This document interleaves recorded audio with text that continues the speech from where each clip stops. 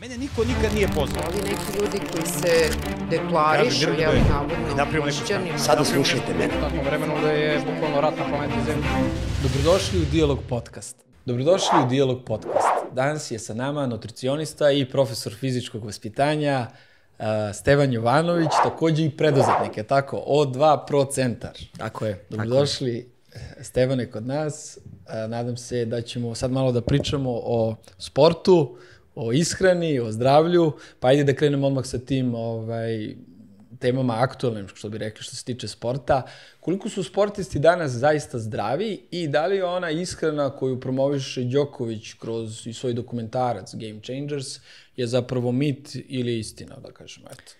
Pre svega hvala ti na pozivu, ovaj, pomaže Bog i Bog ti pomogao. ove titule su lepe, mada ja više volim da kažem za sebe da sam ja otac, tri čerke i suprug, tako da ovaj, to mi je najvažnija titula i kad pričamo o sportu danas, sport jeste ovaj, uh, promovisan kao jedan zdravstveni benefit za čovečanstvo, jer tako, ali ovaj, ako sagledamo malo ozbiljnije stvari iz ugla fiziologije i malo detaljnije uđemo u, u, u, u- to šta se dešava u sportu, vidjet ćemo da nije baš to tako.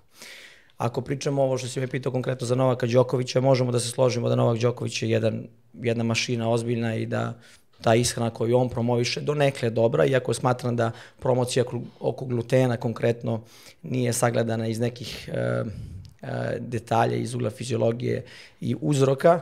E, sam gluten nije toliki problem, već je problem šta smo mi to ranije radili pa da nam taj gluten smeta. Ali što se tiče konkretno te studije Game Changers je to jako dobra studija i treba je pogledati ovaj, i nije, on, nije to jedna jedina studija ako se ona danas jedina spominje, jer tako?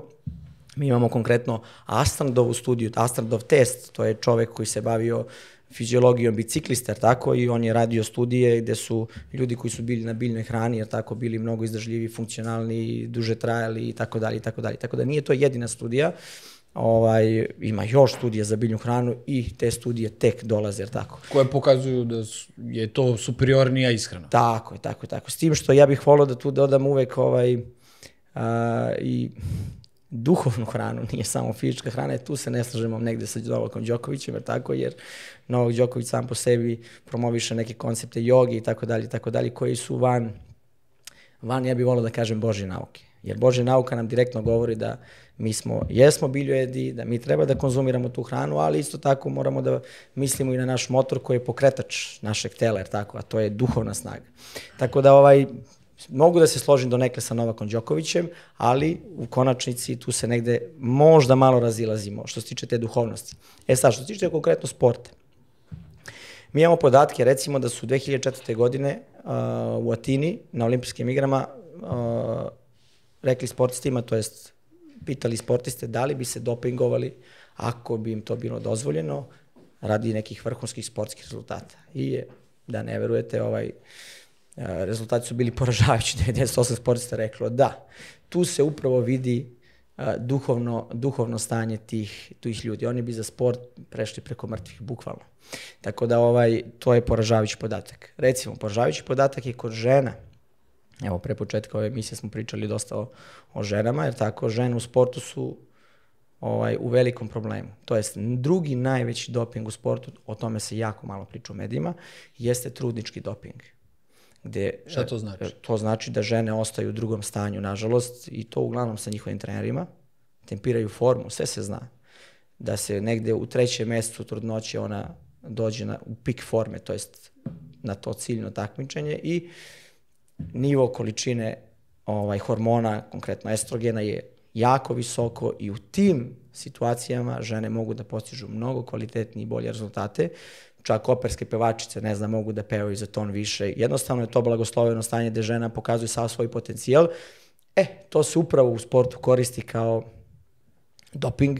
Žena ode na takmičenje, napravi sjajan rezultat i nakon toga obaci dete, tako je. Abortira, što je veliki poraz za sport, jer mi pre svega moramo da sagledamo sport i uopšte čoveka biće. kao ljudsko biće i kao Božju tvorevinu, jer tako, a ne kao, kao mašinu koja je u konačnici treba da postigne neki level i neki rezultat. Eto, to su poražavajući podaci u sportu, tako da sport možemo da sagledamo kao fizičku aktivnost dobro, donekle, kao takmičarski sport, problem, veliki. Ne bih znao sad odakle pre da krenem, ovaj, da li ste mi dobar ovaj, ide, ali kada, kada žene to rade, e, da li posle toga imaju ja pretpostavljam da imaju neke ovaj, posledice vezano za to ili to zapravo sportiskinje mogu više čak puta da izvedu tokom svoje karijere, a onda koliko ja znam desi se da često kad odluče na kraju da rode, deca budu prevremeno rođena ili imaju neke defekte tako. ili tako dalje.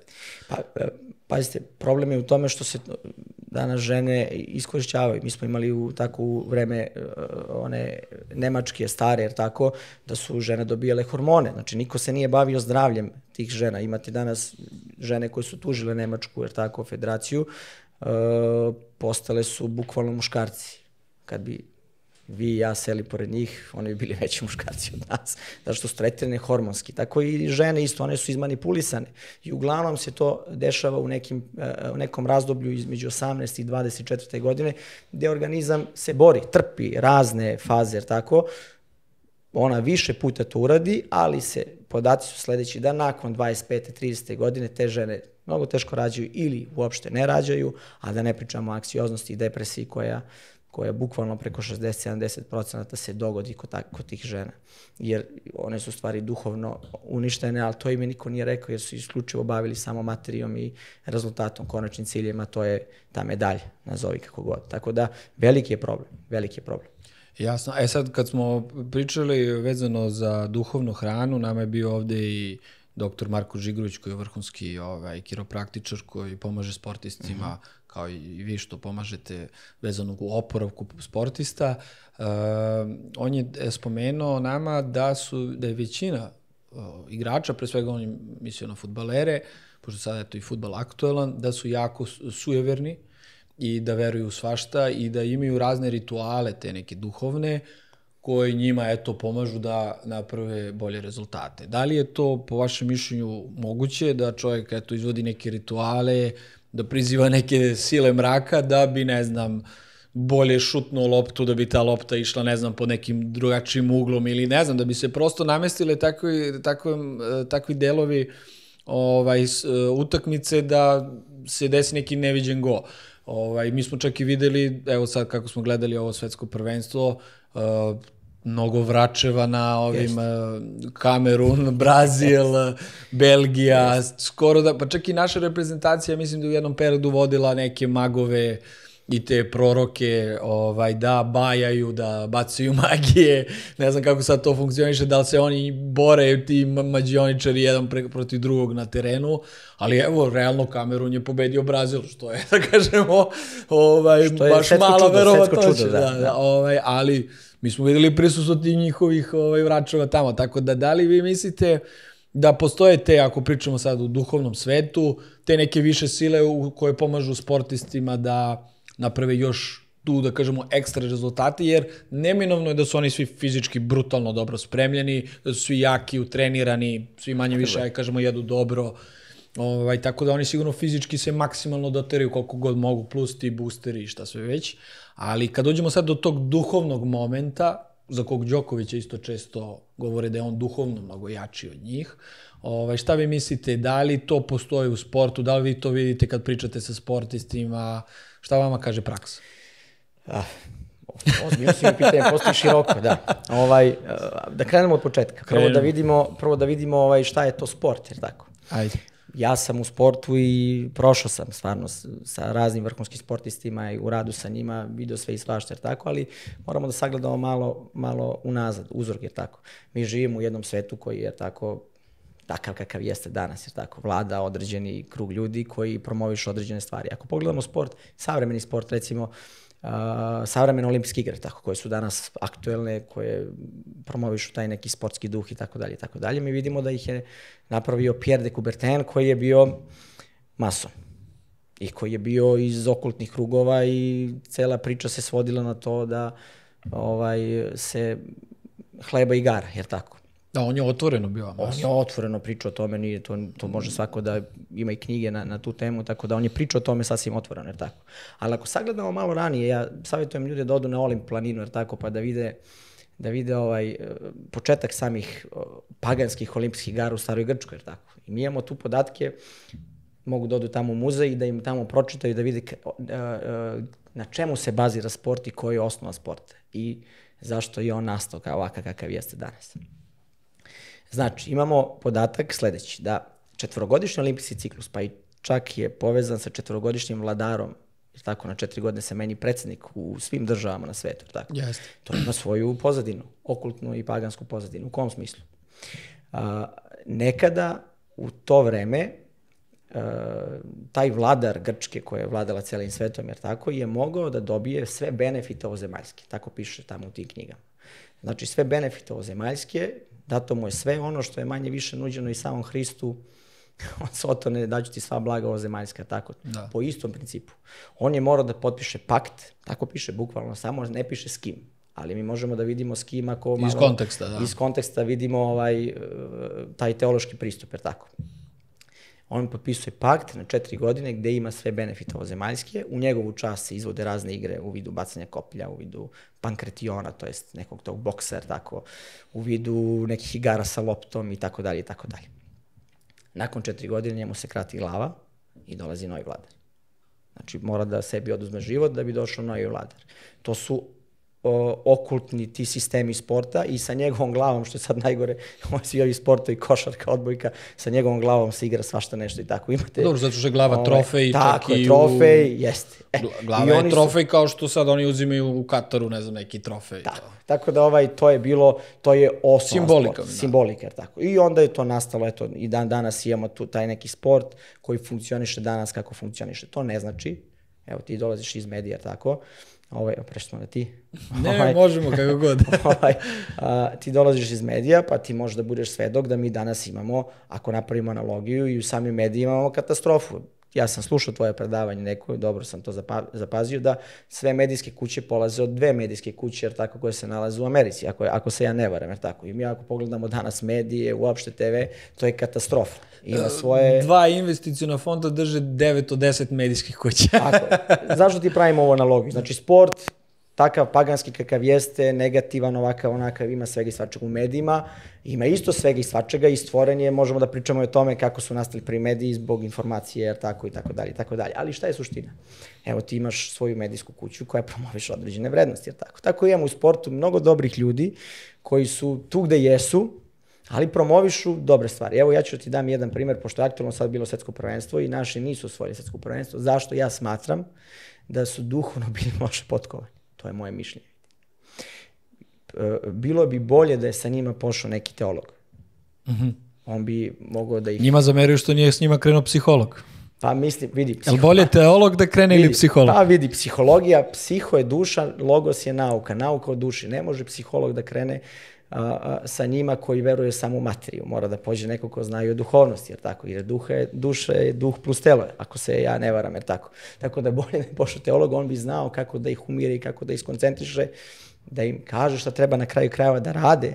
Još ako čovek koji iz struke, recimo fiziološki ili ovaj, da poznaje neke kvalitetne stvari u, u, u samom radu organizma, to bi bio pun pogodak. Zašto ti ovo govori? Imamo mi jednog dobrog sportistu, ja, to je moj dobar prijatelj, Nemanja Majdov. Dobro. Jel tako? On je čovjek postao svetski šampion sa 20 godina U kom sportu? u judovu. Dobro. Ovaj, a, a, a, I sad u nekom razgovoru između mene i njega, pazi, on je otišao čovek, to je, to je, to je fenomen. On je otišao čovek kao da danas u tenisu ode 500 na rang listi na Wimbledon i osvoji Wimbledon. Pobedi i Đokovića i Federera i Nadala, sve ih pobedi. Potpuni outsider, da kažem. Totalno je otišao tamo kao nebitan lik, iz povreda izašao prednjukašten i pokidan i tako dalje i tako dalje. I u nekom razgovoru izme- između mene i njega on kaže ovako. Ja kažem čovječe, znaš ti kako imaš dajama, ideš tamo? On kaže, pa nema nekih problema. Kaže, za mene stoji jedna jedina najveća sila. Pobiću ih sve. I o, jednostavno on se ne plaši ničega. On, je- on je biblijski religijos. Da, ne, on je biblijski religiozan čovjek. On kreće sa, uh, sa, sa, sa psaltirom i 15.1 mislim da je ovaj, ovaj stih gde kaže gospod je jedina moja snaga. Znači, ja sam taj. To jest, ja sam taj zašto mi je gospod dozvolio. I on sa takvom idejom ide tamo i pobeđuje sve, apsolutno sve favorite. Olimpijskog šampiona dobija u, u prvom kolu, uh, svetskog šampiona dobija u drugom kolu, na kraju dolazi do sto nekog sedmog meča gde dobija preozbiljnog borca u samom finalu. Tako da Nemanja Majdov je uh, uh, čovek koji, ko, ko, koji bi trebao da bude uh, uh, videlo uh, uh, u sportu. Da mi gledamo takvog sportistu. Evo ovom priliku im čestitam, dobio i dete, oženio se, ovaj, dobio je dete i njegov brat Stefan isto dobio dete. Oženili su se s sjajnim ženama, žive u jednom skladnom miru, porodičnom, totalno promovišu neke kvalitetne vrednosti za razliku, jer tako od mi imamo spak sad ove druge strane futbal gde vidimo sve i svašta. Nije mi cilj da sudim bilo koga, ali tu mira nema i nema, onda nema rezultata. Mnogo je teško u takvim, u takvim ovaj uslovima da se napravi rezultat. Tako da, uh, uh, sport kao sport, imamo to što imamo na terenu, ali ima mnogo dobrog videla u tom sportu, to jest ljudi koji promovišu Božje vrednosti. Evo ja sam ti ovaj, rekao jednog momka, ima ih još, ima Marka Nikolića, boksera koji je sjajan momak, bavi se sportom koji je jako težak, naporan, ali promoviše odlične vrednosti porodične i tako dalje. Znači, ako bismo na sport više gledali kao umetnost e, zdravog fizičkog delovanja u okviru neke discipline i tako dalje, onda bi tu moglo da se, kažemo, provučemo kao kroz iglene uši, da je sport, taj, kažemo, pozitivan i normalno dokle god je rekreativan, ali sad pričamo o profesionalnom sportu. Uh, ali kad pogledamo većina ljudi, većina sportista zapravo ima mnogo problema. Neke studije pokazuju da uh, sportisti više E, teže agresivnosti takođe, da češ, češće će da budu ti koji će da zlostavljaju sutradan i supruge i svoje kolege i tako dalje. Da li je to tačno prema onome što ste vi isto proučavali? Pa je, apsolutno. Mislim, mi dobijemo jedan... E, be, takav pristup bez Boga je sigurno rezultat to što ti govoriš. Ali ako mi imamo osnovu osnovu samo gospoda Boga, jer tako onda je to jedan koncept gde ti, ajde, što ti kažeš, možemo da se provučemo kroz neke uglene uši, iglene uši, tako da, da shvatimo da, da možda kroz taj sport možemo da promo... Jer on je na globalnom nivou. Mislim, ako sagledamo samo I mnogo istoriju, istoriju hrišćanstva, Bog je radio sa, na, sa, sa ljudima koji su bili ajde da kažem, problematični. Jer tako, u najmanju ruku. u najmanju ruku, jer tako, pa počeo od apostola Pavla, pa i raznih ljudi u, unazad, jer tako, mi imamo podatke da, da je on baš e, radio sa ljudima koji su bili e, popularni, poznati po znacima navoda, pa ih je on usmerio da promovišu njegove vrednosti. Tako da mi, mislim, živimo u, na svetu koji je katastrofa, najmanju ruku. Ako pogledamo sve sfere života, nije samo sport, medije, medicinu, ne, šta god pogledaš ti vidiš da tu da su tu da je tu loša promocija, ali da tu postoji boži ljudi koji rade svoj posao jer tako i oni su videli videlo i suprotstavljaju se tim nekim ovaj tim nekim na, na, nametnutim narativima. Tako je, tako. Pa meni je zanimljivo, ja sam video stvarno da ovaj kad je pobedio ovaj Khabib Nurmagomedov kako se zove, on je bio MMA prvak. On je čovjek jako religiozan, uvek kad izađe kaže Bog je sve, ja sam ništa on je musliman i kad čitam ove komentare i kad čitam njegov uticaj sad na zapad, na generalnu Tako tu populaciju, je. da kažemo, navijača koji uopšte nisu u nekom duhovnom svetu ili bilo čemu, ja sam vidio to ono ljudi koji su rekli postao sam religiozan, prešao sam u islam, izbacio sam e, svinjetinu, uh, Što znači da čak, ajde da kažemo, može stvarno da se desi neki uticaj pozitivan i preko tih sportista koji za, zaista imaju ogroman uticaj. Ja mislim da ovaj Cristiano Ronaldo, znači Instagram je najprećeniji kao profil, onda je on drugi. Tako da on kad pljune na stranu desno, to svi prenesu. Tako da njegov uticaj kad nešto kaže, kao što i Đoković kad je krenuo da priča obiljno iskreni, je ogroman i sigurno da kažemo može da donese dosta toga. Ali ajde da još malo ovaj, ispričamo o, o sportistima. E, šta vi mislite, pošto mi smo, ipak smo neka sportska nacija, Srbija, kad kažemo Srbija, kažemo košarka, futbal, ne znam, odbojka i to. Ovaj, da li vi mislite sad, kad bi ovo sad slušali mladi roditelji ili roditelji hoće da budu, šta je najispravnije, na primer, za decu što se tiče sporta ili uopšte i za roditelja ako će da učestvuju s njima? Šta je generalno za našu naciju naj, najbolje što se tiče sporta? Šta je ono što treba ljudi da, da kažemo, koriste to iz sporta i šta treba svakako da izbegavaju? Um, ja uvek savjetujem roditelje kada traže sport ili kada traže uopšte tu neku aktivnost za svoje dete da traže pedagoga. Znači da traže čoveka sa ko radi sa tom decom. Nije važan sport. Znači svaki sport manje više bazira se na nekoj fizičkoj aktivnosti, jer tako... Trče se, jure se, okreću se. Da, postoje neke bazične vežbe koje treba tu nešto da se izvode, jer tako prate neki senzitivni period razvoja deteta, ali pre svega pedagog. Zašto? Jer mi danas imamo veliko nasilje u sportu u smislu da Mi jako rano decu uvodimo u taj neki takmičarski sistem, recimo. Pa onda decu dovodimo do nekih um, teških treninga, jer tako koji kod njih angažuju određene receptore i određene hormone koji nisu potrebni za taj Za taj za period, taj, taj, taj period razvoja, tako. Pa onda dođemo do podatka da a, a, a, ta deca, recimo, ako je od četvrte do šeste godine, od šeste do osme godine, senzitivni period razvoja kod, dece, kod deteta koordinacije i brzina reakcije, tako, mi trebamo decu da pustimo do nekle, da se igraju prirodi, da hodaju bosa, da imaju neku tu vrstu aktivnosti, jer tako, a sam sport, ako mene pitaš, možda najbolji sport, uh, to je najbolja fizička aktivnost folklor, recimo koordinacijski mnogo dobro. Drugo, e, konstantno su u nekim tim skokićima gde angažuju te tabanske mišiće koji su vrlo važni za razvoj e, razvoj uh, tog unutrašnjeg svoda stopala. Jer mi danas imamo 60-70% nacije koji ima ravna stopala što je poražavajući podatak. Kasnije to kroz statiku nam pokazuje da imamo spuštene karlice, pomerene kičmeni stub i tako dalje i tako dalje. Zato što deca nisu dovoljno aktivna u tim, u tim periodima. Mi često zatvaramo decu i tako dalje. Tako da sport kao sport više fizička aktivnost vani, a ako je sport, da se bira pedagog. Jer pedagog će znati koji su senzitivni, senzitivni periodi razvoja, pustit će tu decu do nekle da, uz naravno kontrolu, razviju te neke postulate koji su vrlo važni za taj senzitivni period razvoja. Dajem ti prost primjer. Recimo, Usain Bolt, koji je najbrži čovjek na svetu. I podatak da znaš da on nije najbrži, nego najizdržljiviji u toj brzini. Šta to znači? Su, pa, on, on je trčao maksimalno 44 km na čas. Dobro. A, a, a Tyson Gay i ovaj, a, slagaću se još jedan američki trkač trčali 45 km na čas. Aha. Ali ako on kada dođe do te maksimalne brzine, Zadrži on, je trči, to. on je trči od 30 metra, 100 trči 44. A ovi negde oko 60 metra padaju na 42, 4, i onda on tako pobeđuje. Tako da on je, nije najbrži, nego najbrži u izdržljivosti. Aha, aha. Zašto? Što je jasno, ne, ne, ne, da. vrlo je važno taj podatak. Jest, Pazi jest, sad, kako jest. je on razvio te svoje mehanizme. Kako? Recimo, mi imamo podatak da je on kao mali jako, baš u tim godinama, između četvrte i osme godine, imao stariju braću koja su igrala gore futbal. On je živio na majici na nekom, nekom brdu i često lopta ode dole, padne sa tog brda, on je trčao niz brdo. Najbolja brzina kod dece se razvija ta frekvencija koraka kada deca trče niz brdo. Postoje neka bela mišićna vlakna, jer tako, neoksidativna mišićna vlakna, to su brza mišićna vlakna kod čoveka i ona se razvijaju baš ovo što sam ti ja rekao između četvrte i osme godine. On je u tim godinama trčao nizbrdo i vraćao loptu svojim, svoj braći. I tako je dobio mehanizme. Kad su mu radili biopsiju, kož, biopsiju njegovih mišićnih vlakana, naš su podatak da ima preko 80% brzih mišićnih vlakana.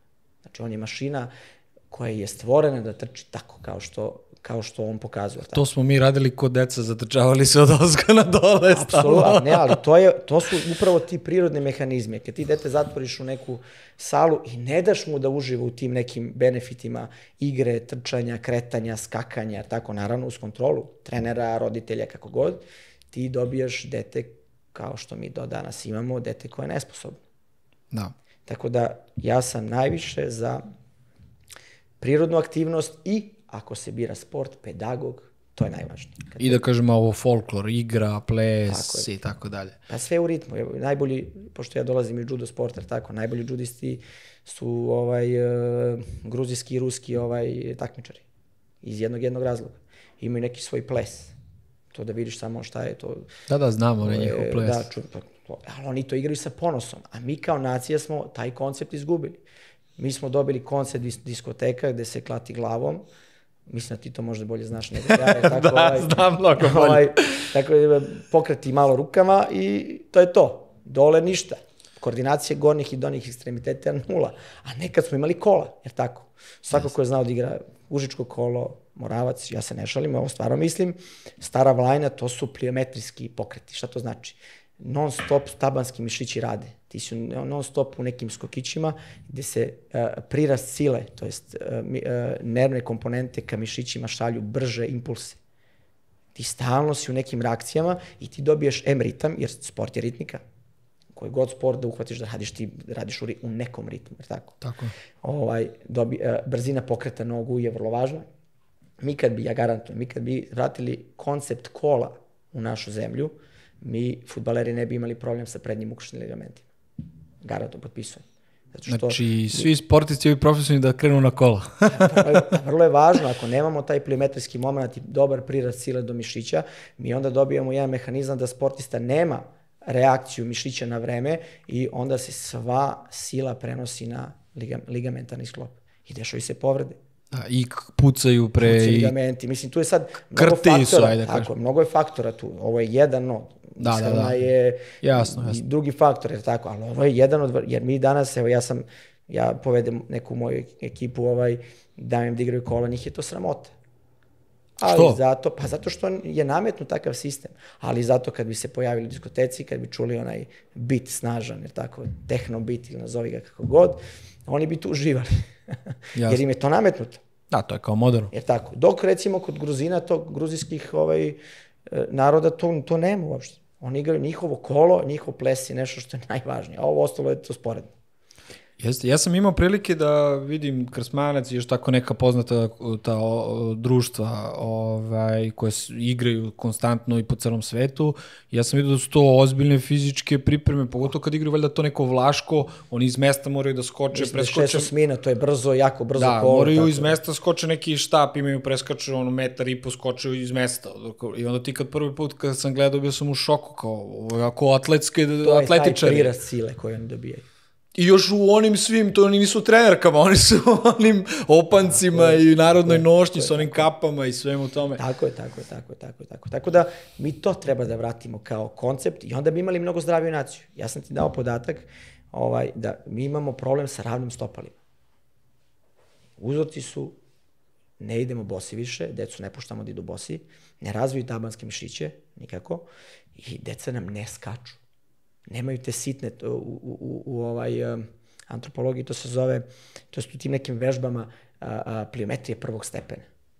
Znači imaš nekih pet stepena pliometrije tih skokova, imaš ove atletske skokove koji su jako zahtevni jer tako treba da se telo trenira, ali ovaj prvi stepen pliometrije, gde mi stalno smo u nekim skokićima, nekad su neka deca igla lastiše, tako. Jeste. Sećaš se lastišer, tako, i razne igrice sa tim nekim skoki, pa i one, one, one školice, tako.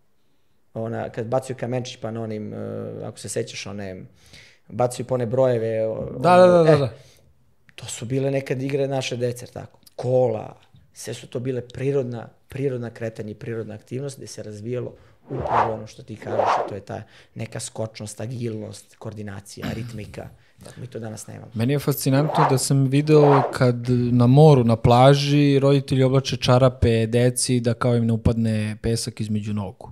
E, zašto se roditelji plaše toliko da deca idu bosa ili kako, ajde probamo da razbijemo taj strah. Da li, je, s- da li je toliko strašno kod dete ide boso čak i po kući ili kad izađu u dvorište po travi, jer uglavnom mi se plašimo tog nazeba i, i svega, kako kažu naši, sve kreće od nogu. Tako da, o, o, i zbog toga ja mislim da to preterano utopljavanje, u stvari ta prevelika briga da deca slučajno se ne prehlade to. Ali koliko to realno i kad deca trebaš da hodaju bosa, kad ne? Deca treba da prohodaju bosa. Mm -hmm. Moja, evo, dvoje dece i treće Bože zdravlje će prohodati bosa. Znači, deca trebaju da prohodaju bosa. Naravno, ako je to neki period, jer tako proleće leta, da nećemo da iskidamo zimi, to je sigurno, ali ako je taj period neki, što hitnije i što pre bosa.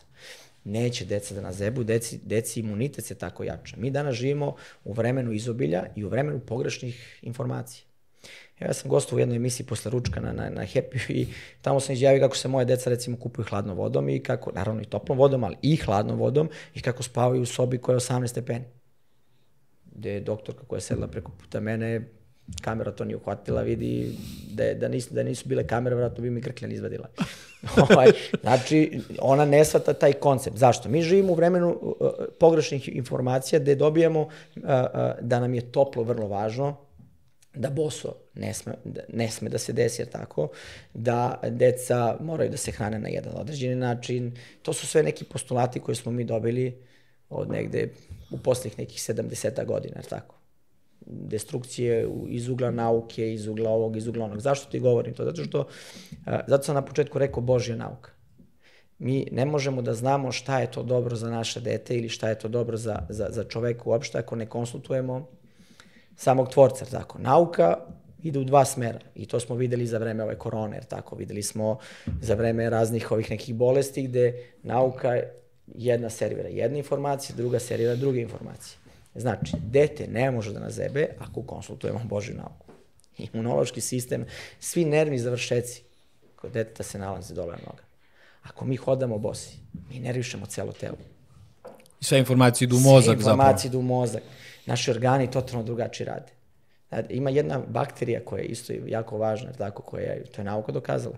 Bakterija vaka, jer tako, koja je jasno, e, nauka govori da je ona uzrok sreće. Da se recimo dopamin luči i serotonin, ako je ta bakterija prisutna u našem telu. Ona se nalazi na zemlji dole. ako mi hodamo po toj zemlji, mi smo u kontaktu sa tim nekim bak, mi živimo Mikro- s bakterijama, tako, mikro- mikrobiomima, mikro, Da. koji su nam vrlo važni za funkciju našeg tela. Tako, zato ljudi koji su e, često na zemlji i rade sa zemljom, ti ne možda ja imam nekog prijatelja, psihijatra, i pitan ga ti dolaze ljudi iz sela ovaj, na, na, na konsultacije, da li su oni depresiji, anksiozni, to nema.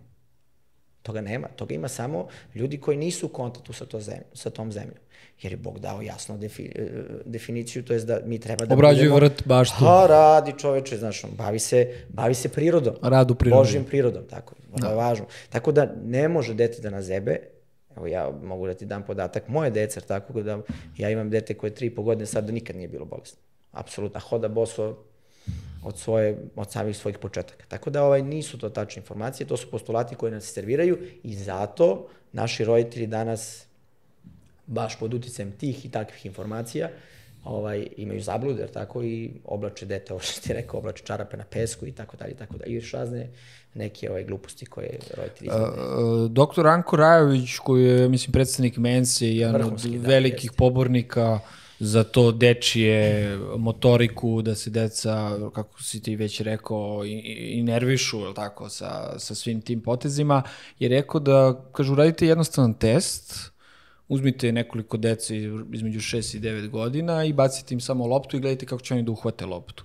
Kaže, većina dece ne ume da uhvati loptu zato što upravo nemaju tu motoriku na konto hodanja, da idu unazad, idu unapred, da ovaj, trče niz brdo i tako dalje, i da idu bosa, naravno, on to je isto veliki pobornik toga, da zbog toga, kažem, kažem, mi imamo neku tendenciju da kao jedna generacija slabija, pa jedna jača. Međutim, to je kao neka zvanična priča. Međutim, kažem, mi u poslednjih 20 godina imamo nagli pad u inteligenciji dece i motorike i svega. I zapravo mi stvaramo u poslednjih 20 godina sve, da kažemo, nesposobniju i nesposobniju decu.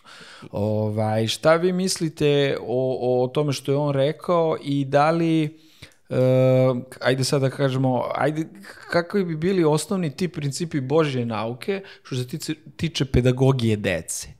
Da li je to upravo rad u prirodi malo? Pošto se svi roditelji plaše, nemoj trn, ubošćeš se i tako dalje. Znaš koliko su roditelji previše zaštitnički ovaj, raspoloženi, a zanimljivo je upravo to da su oni rasli, naši roditelji su manje više rasli na selu i da kažemo, to je neka... Uslovima koje, o, Da, kojima sad meni je to malo pričamo, da. čudno zašto se to desilo, tako da št- šta vi mislite, ko je to, ko je to, šta je tu odgovor na sva ta pitanja? Evo, uđ- uđeš prosto u neku radnju gde se kupuju, jer tako, za početak, bebi stvari.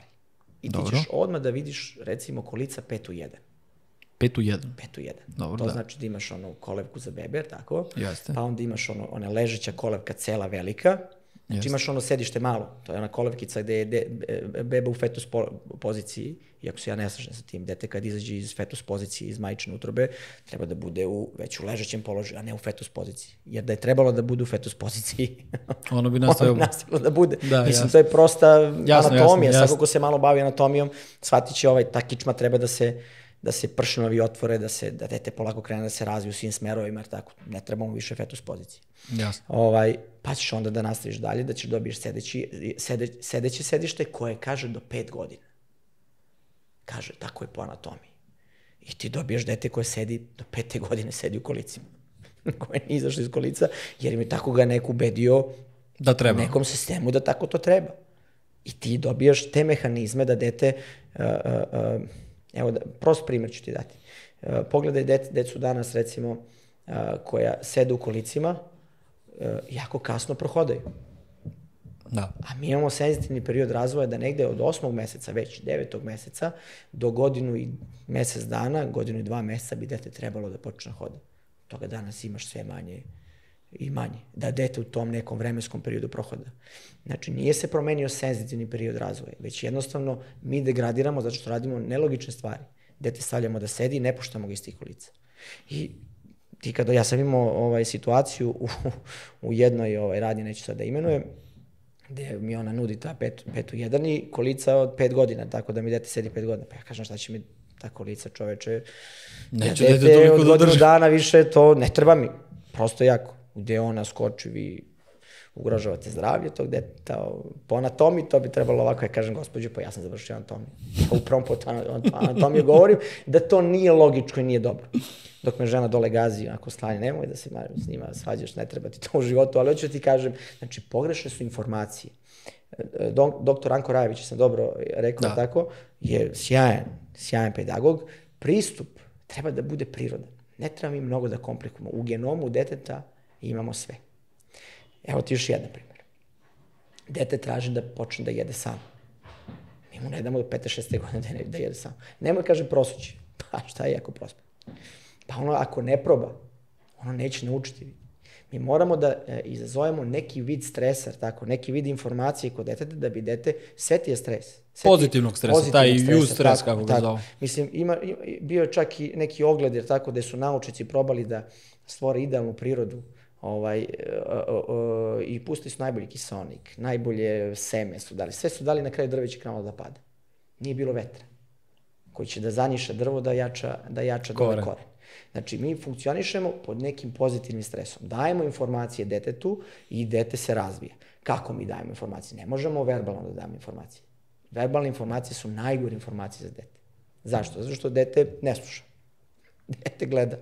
I dete pokušava, hoće da uradi nešto. Kad krene dete prvom prilikom da, kad, da jede sam, pusti ga da jede sam. Pa i neka prospe prosiće jednom, drugi put, treći put, uz informacije konstantno od roditelja, kako on jede, pa naravno i verbalne informacije, dete će malo po malo, upravo po tim informacijama i po tim stresom koji, jer tako jednom je bolji pokret, drugi put je malo bolji pokret, pa onda još bolji i na kraju dete počne da jede samo. Ta mehanika ruku, jer tako, mi razvijamo određene komponente, nervne komponente, tako i mišne komponente. Mozak dobije informacije. I dete na kraju dobije i tu motoriku šaka, šaku, ruku, uh, uopšte celog tela. Dobije koordinacijski jedan ozbiljan benefit. Mi danas dete, detetu to ne dajemo. Mi ga stavimo u kolica, nemoj da trčiš, nemoj da skačeš, nemoj da ideš samo i šta očekujemo. Nemoj da hodaš boso, hodaj u čarapama po pesku i onda dobijemo dete kako smo, kako danas imamo, tako, sa lošim postularnim statusom, znači kičmeni stub je jako loš kod dece, nogice su jako loše kod dece, informacije u mozgu su uglavnom preko mobilnih telefona, znači jednosmerne i mi dobijemo uglavnom Dobijemo decu koja su rahitična, kriva, bolešljiva. Je. Meni je, meni je neverovatno da ljudi, na primjer, imaju dete dve, tri godine, a ono nije moglo sastavi mesec dana da nije zdravo, na primjer. Nego na svake dve nedelje nešto mu se desi. Ovaj, to je zaista ono što mi vidimo na terenu. Ali ajde da krenemo, pošto ste vi nutricionista, malo da se dotaknemo i te teme. Baš naj, od, od, od odojčeta, od beba, e, često preporučuju te D3, K1 vitamine, suplemente. Da li je to neophodno Šta vi mislite, da li su naše to bake isto davale ili ne, kroz neki vid, ne znam i ja, ovaj, ishrane i tako, prosto prirodno, prirodno ovaj, davale takvu nutriciju. Kako, kako bi mogli to da uporedimo danas i nekad? Ja, pa D3 i K1 kapi se daju zbog one fontanele na, na, na mozgiću, to je da bi se kosti spojile, tako, ovaj, i da bi imali zaštitu, bolju zaštitu mozga. Samo da objasnimo, fontanela je tačno šta? To je prostor, prostor na glavici, kako se zove, koji još nije, znači, Koji nije oko što je. nije oko što nije se spojilo uopšte lobanja, tako lobanjska kost se još nije spojila i onda se daje da se to malo ubrza, jer tako jer su D3 kapi i K1, to je D3 ovaj, vitamin i K1, vrlo važan za, za rastanje te kosti, jer tako. E sad, to je, to je podatak uh, fiziološki, jer tako. Da li to ima negde drugde? Naravno da ima, vidi. To jest, uh, uh, de, uh, ti vitamini su liposolubilni vitamini. Oni se nalaze u našim mastima.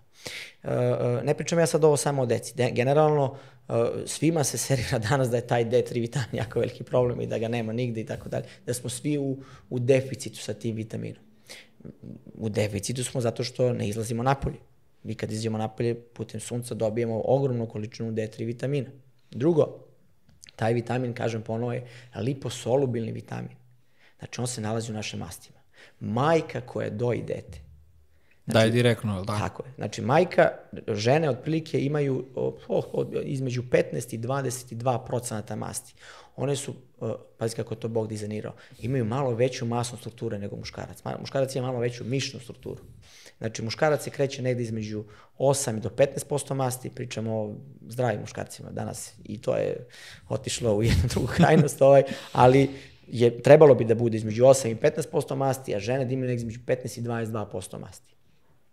I upravo u tim mastima se nalaze ti vitamini. To su liposolubilni vitamini.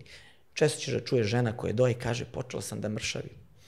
Ona upravo gubi na svojoj masu strukturi, to je telo samo, dizajnirano je tako, daje te vitamine preko mleka.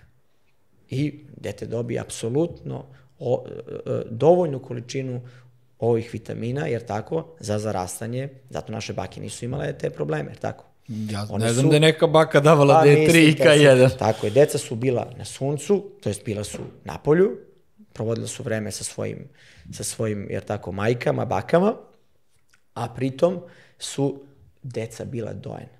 E, to je najveći problem. Danas mi nemamo majke koje hoće da doje. Zašto je to? I to je ozbiljna tema, to je bolja tema za Ivanu Iličkov. Ovaj, mislim da, ja, ja sam barem čuo, dolaze mi razne ovaj, žene, jer tako, koje neće da doje zato što je estetski problem. Šta to? Pa neće da ima malo visiće grudi kasnije tako. Pa da ne bi trebalo da upravo kroz tu cirkulaciju krvi i tako dalje, da to bi. drži grudi gore i jače. Ne, trebalo bi, ali Kome Neko je ubedio, da. Ne, ja vidim da u porodilištima takođe ovaj, babice i ove žene, patronažne sestre u stvari pre svega, odmah de, decu stavljaju na, na dohranu. Kao, Tako odmori je. se ti, Tako. ipak si se velika. porodila, ajde ja ću da ti dam dohranu. I onda dete čim skineš sa ovog prirodnog Tako. majčinog mleka, ono ne može, se posle, ne može da se vrati. Fiziološki pogrešan potez odmah u samom startu, majka kasnije gubi mleko, ima manjak mleka i tako dalje, tako dalje. Znači, majka treba da doji sasvim dovoljnu količinu D3K1 dobije i, i ta fontanela se zatvara a, a, negde između 10. 11. 12. meseca, pa čak i do 13. meseca nije nikakav problem, jer je vrlo važno da se mozak razvije. Mi ako zatvorimo ranije fontanelu, samim tim blokiramo mozak ka svom prirodnom nekom razvoju. Tako da za sve u našem telu postoji senzitivni razvoj. Bog je to dizajnirao sjajno, fantastično, dao mehanizme kako da mi dobijamo određene vitamine, određene aminokiseline, kako da dete raste, kako da se dete razvija. Mi hoćemo taj proces, nažalost, da ubrzamo i uglavnom u tom bržem procesu mi dobijemo jedan vid destrukcije, to je dete nam postane bolesno, jer uh, liposolubilni vitamini, ako ih imamo u našem telu, a imamo ih, ako ih unosimo putem hemije, putem ovih tableta raznih, mi stvaramo toksično stanje u organizmu. I to je veliki problem. Tako da, ja sam više za, moja, evo, konkretno ja sad pričam o sebi, moja deca nisu pila nikakve D3K1, nije bilo potrebe i evo, i fontanele su zarasle i deca su živo zdrava. Da, imate troje dece, svaka čast. Tako da. Ali, što znači da imate dobru praksu. Ali ajde da vas pitam, ja ću sad malo da zauzmem stav i kažete, Boži, Bog je dizajnirao, ja ću kažem, možda nije Bog dizajnirao, nego je to random sve mutacije, Dobro. evolucionistička i tako dalje po čemu mi vidimo da smo mi dizajnirani i da li smo mi onda, znači to upravo što kažete, dizajnirani za biljnu ishranu ili smo ipak mesožderi ili kao što kaže čak i neki naučnici svašto jedi? To je sad rekao čak i ovaj Tomislav Terezin. Jeste, da. jeste, on je skoro rekao da smo mi, po, iako je on religiozan čovjek, on je rekao da smo svašto jedi, Uh, ovaj, a, a mnogi tvrde zapravo da bez mesa ne možemo da uzmemo dovoljno proteina i tako dalje. Po prvom zakonu biogeneze. Dobro. Znači, ovaj, e, ništa neživo ne može da stvori živo, jer tako? I da mi verujemo u ovaj evolucijski koncept, gde je ono, bakterija prva, pa jednoćelijski, doćelijski, da ne ulazimo sad u sve detalje, jer tako, ta bakterija je živa. Neko je mora da stvori tu bakteriju i da verujemo u koncept evolucije. Znači, po, nauka je tu sama sebi, ova nauka bez Boga je sama sebi kontradiktorna jer ništa, ni, jed, ni u jednoj laboratoriji nije mogo, e, i dan danas u 21. veku nije stvoren život. Stvorene su neke osnovne aminokiseline. Jesu, ali život kao život, kao, kao kompaktan život, toga, to niko još nije uradio. Znači, po zakonu biogeneze mi već vidimo da tu nešto fali, jer tako? A, ako pogledamo Božje stvaranje i ako pogled, uđemo sad u, u, u sam koncept stvaranja na početku, Bog kaže i stvorih vam bilje da vam bude za hranu, to je sva semena i plodove tih semena da vam bude za hranu, jer tako? Mi vidimo da je to najbolji dizajn. Ako pogledamo studiju o nitrogenu, uh, uh, ona pokazuje da sve aminokiseline i uopšte sve se nalazi u zemlji. I ta uh, biljka koju mi treba da konzumiramo, ona uzima te aminokiseline i uopšte sve uzima u sebe i mi to trebamo da konzumiramo i to je prvi dizajn za nas. Ovo što je Tomislav Terzin izjavio, ja smatram da to nije tačno. Zašto nije tačno? Mi imamo opcije da se prilagodimo. Kao Znači, što je- čovjek nije svašta jedan. Pa nije sva, mislim, on ima opciju... Po anatomiji, pričamo po sad. anato, po, znači, po onom uzroku, po osnovi nije svašta. Zašto? I mi možemo da pojedemo meso, to nije problem nikakav. Ali šta je problem? Problem je ostati dugo na tom mesu. Jer onda se razvija velika količina ureje, kreatinina, to su neki kiseli produkti u našem telu. To kasnije šteti bubrezima, šteti jetri, šteti svim tim našim nekim puferskim sistemima koji se muče da prečiste tu hranu. A kad mi uzmemo biljnu hranu, ona apsolutno u našem telu se razlaže, prvo što je enzimski mnogo dobra, razlaže se u našem telu jako lagano, procesi varanja su uh, jako kratki, a pritom ima svega.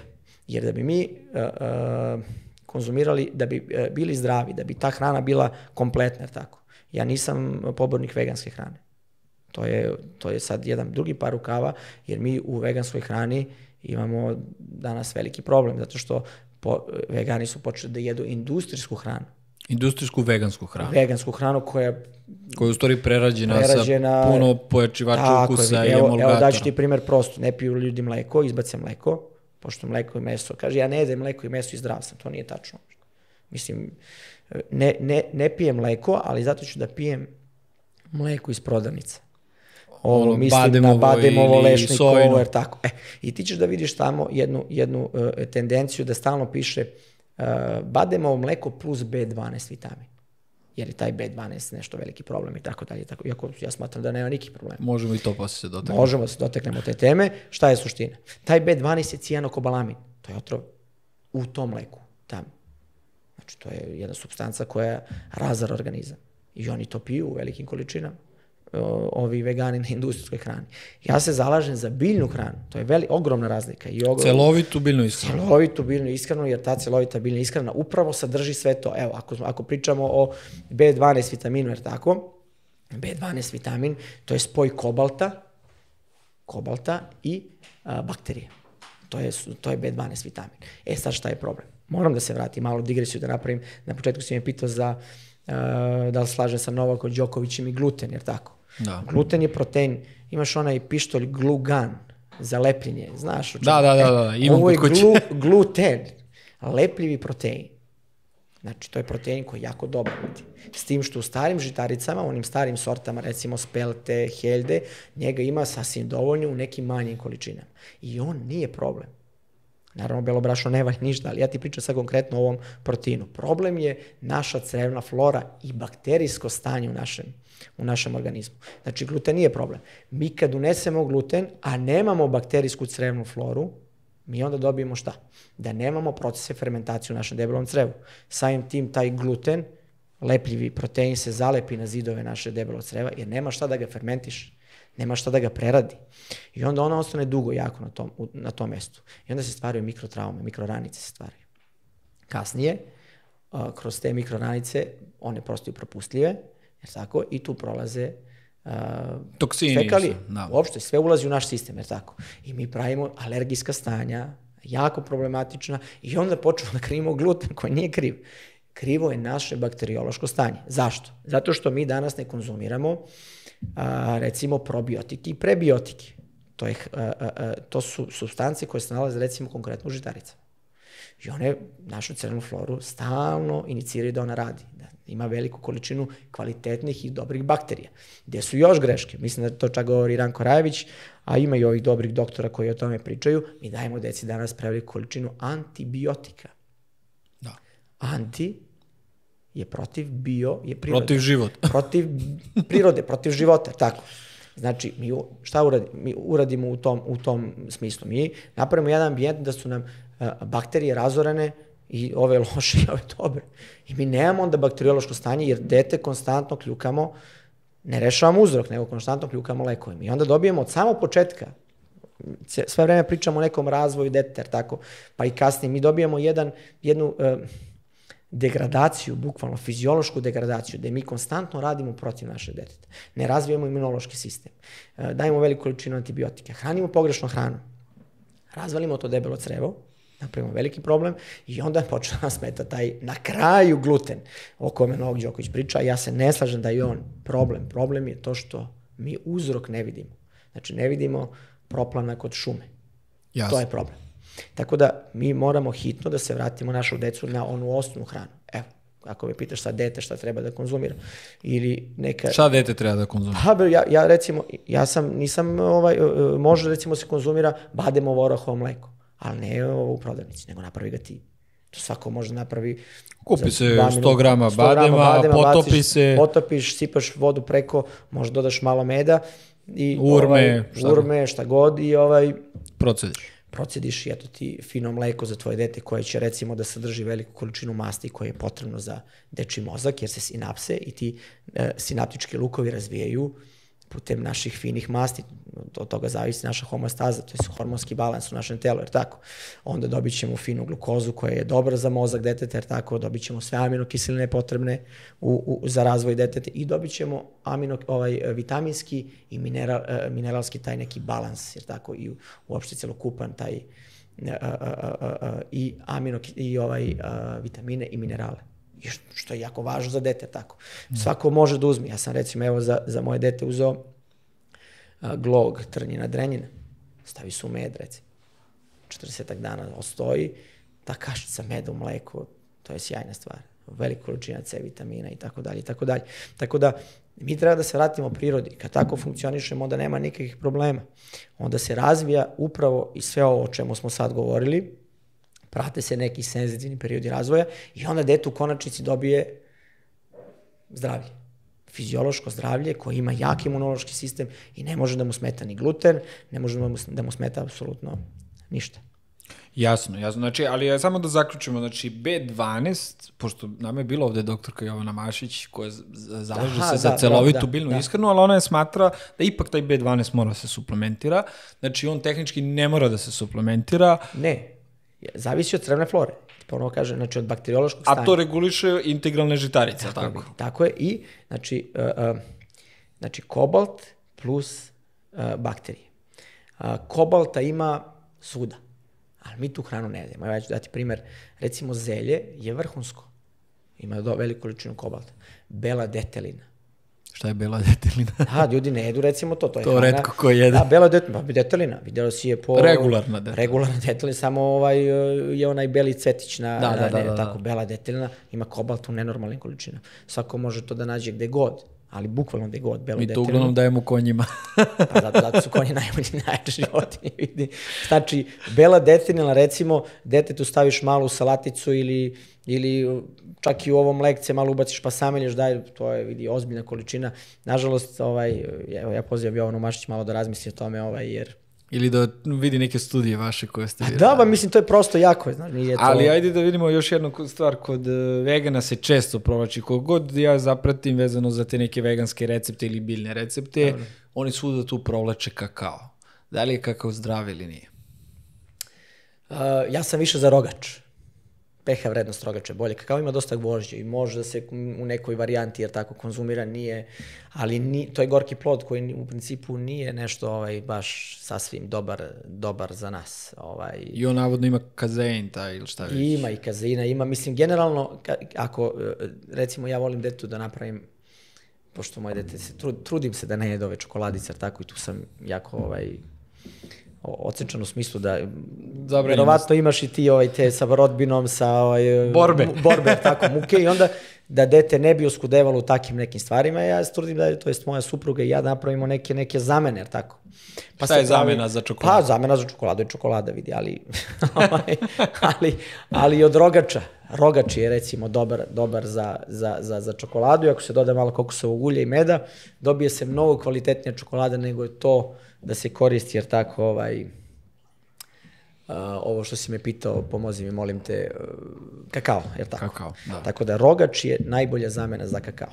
A koliko sam vidio i kakao u proizvodnji, on mora se prvo fermentira. Tako je, prolazi kroz razne procese, da. Nije, znači, on mora potpuno kao i zimnica, u stvari, da se ostaje. Evo sad kad baš smo, vez, baš smo eto, kod zimnice, pošto sad ovaj Dobre. period uh, zimski, ovaj, da li zimnice i te kiseli proizvodi, kiseli krastaci, karfiol, šarena salata, da li to sme da se jede i u kojoj količini? Sme da se jede, sadrži određene bakterije koje su dobre za telo, jer mislim čovek ovaj, čovek jer tako zimi oskudeva sa nekom biljnom hranom.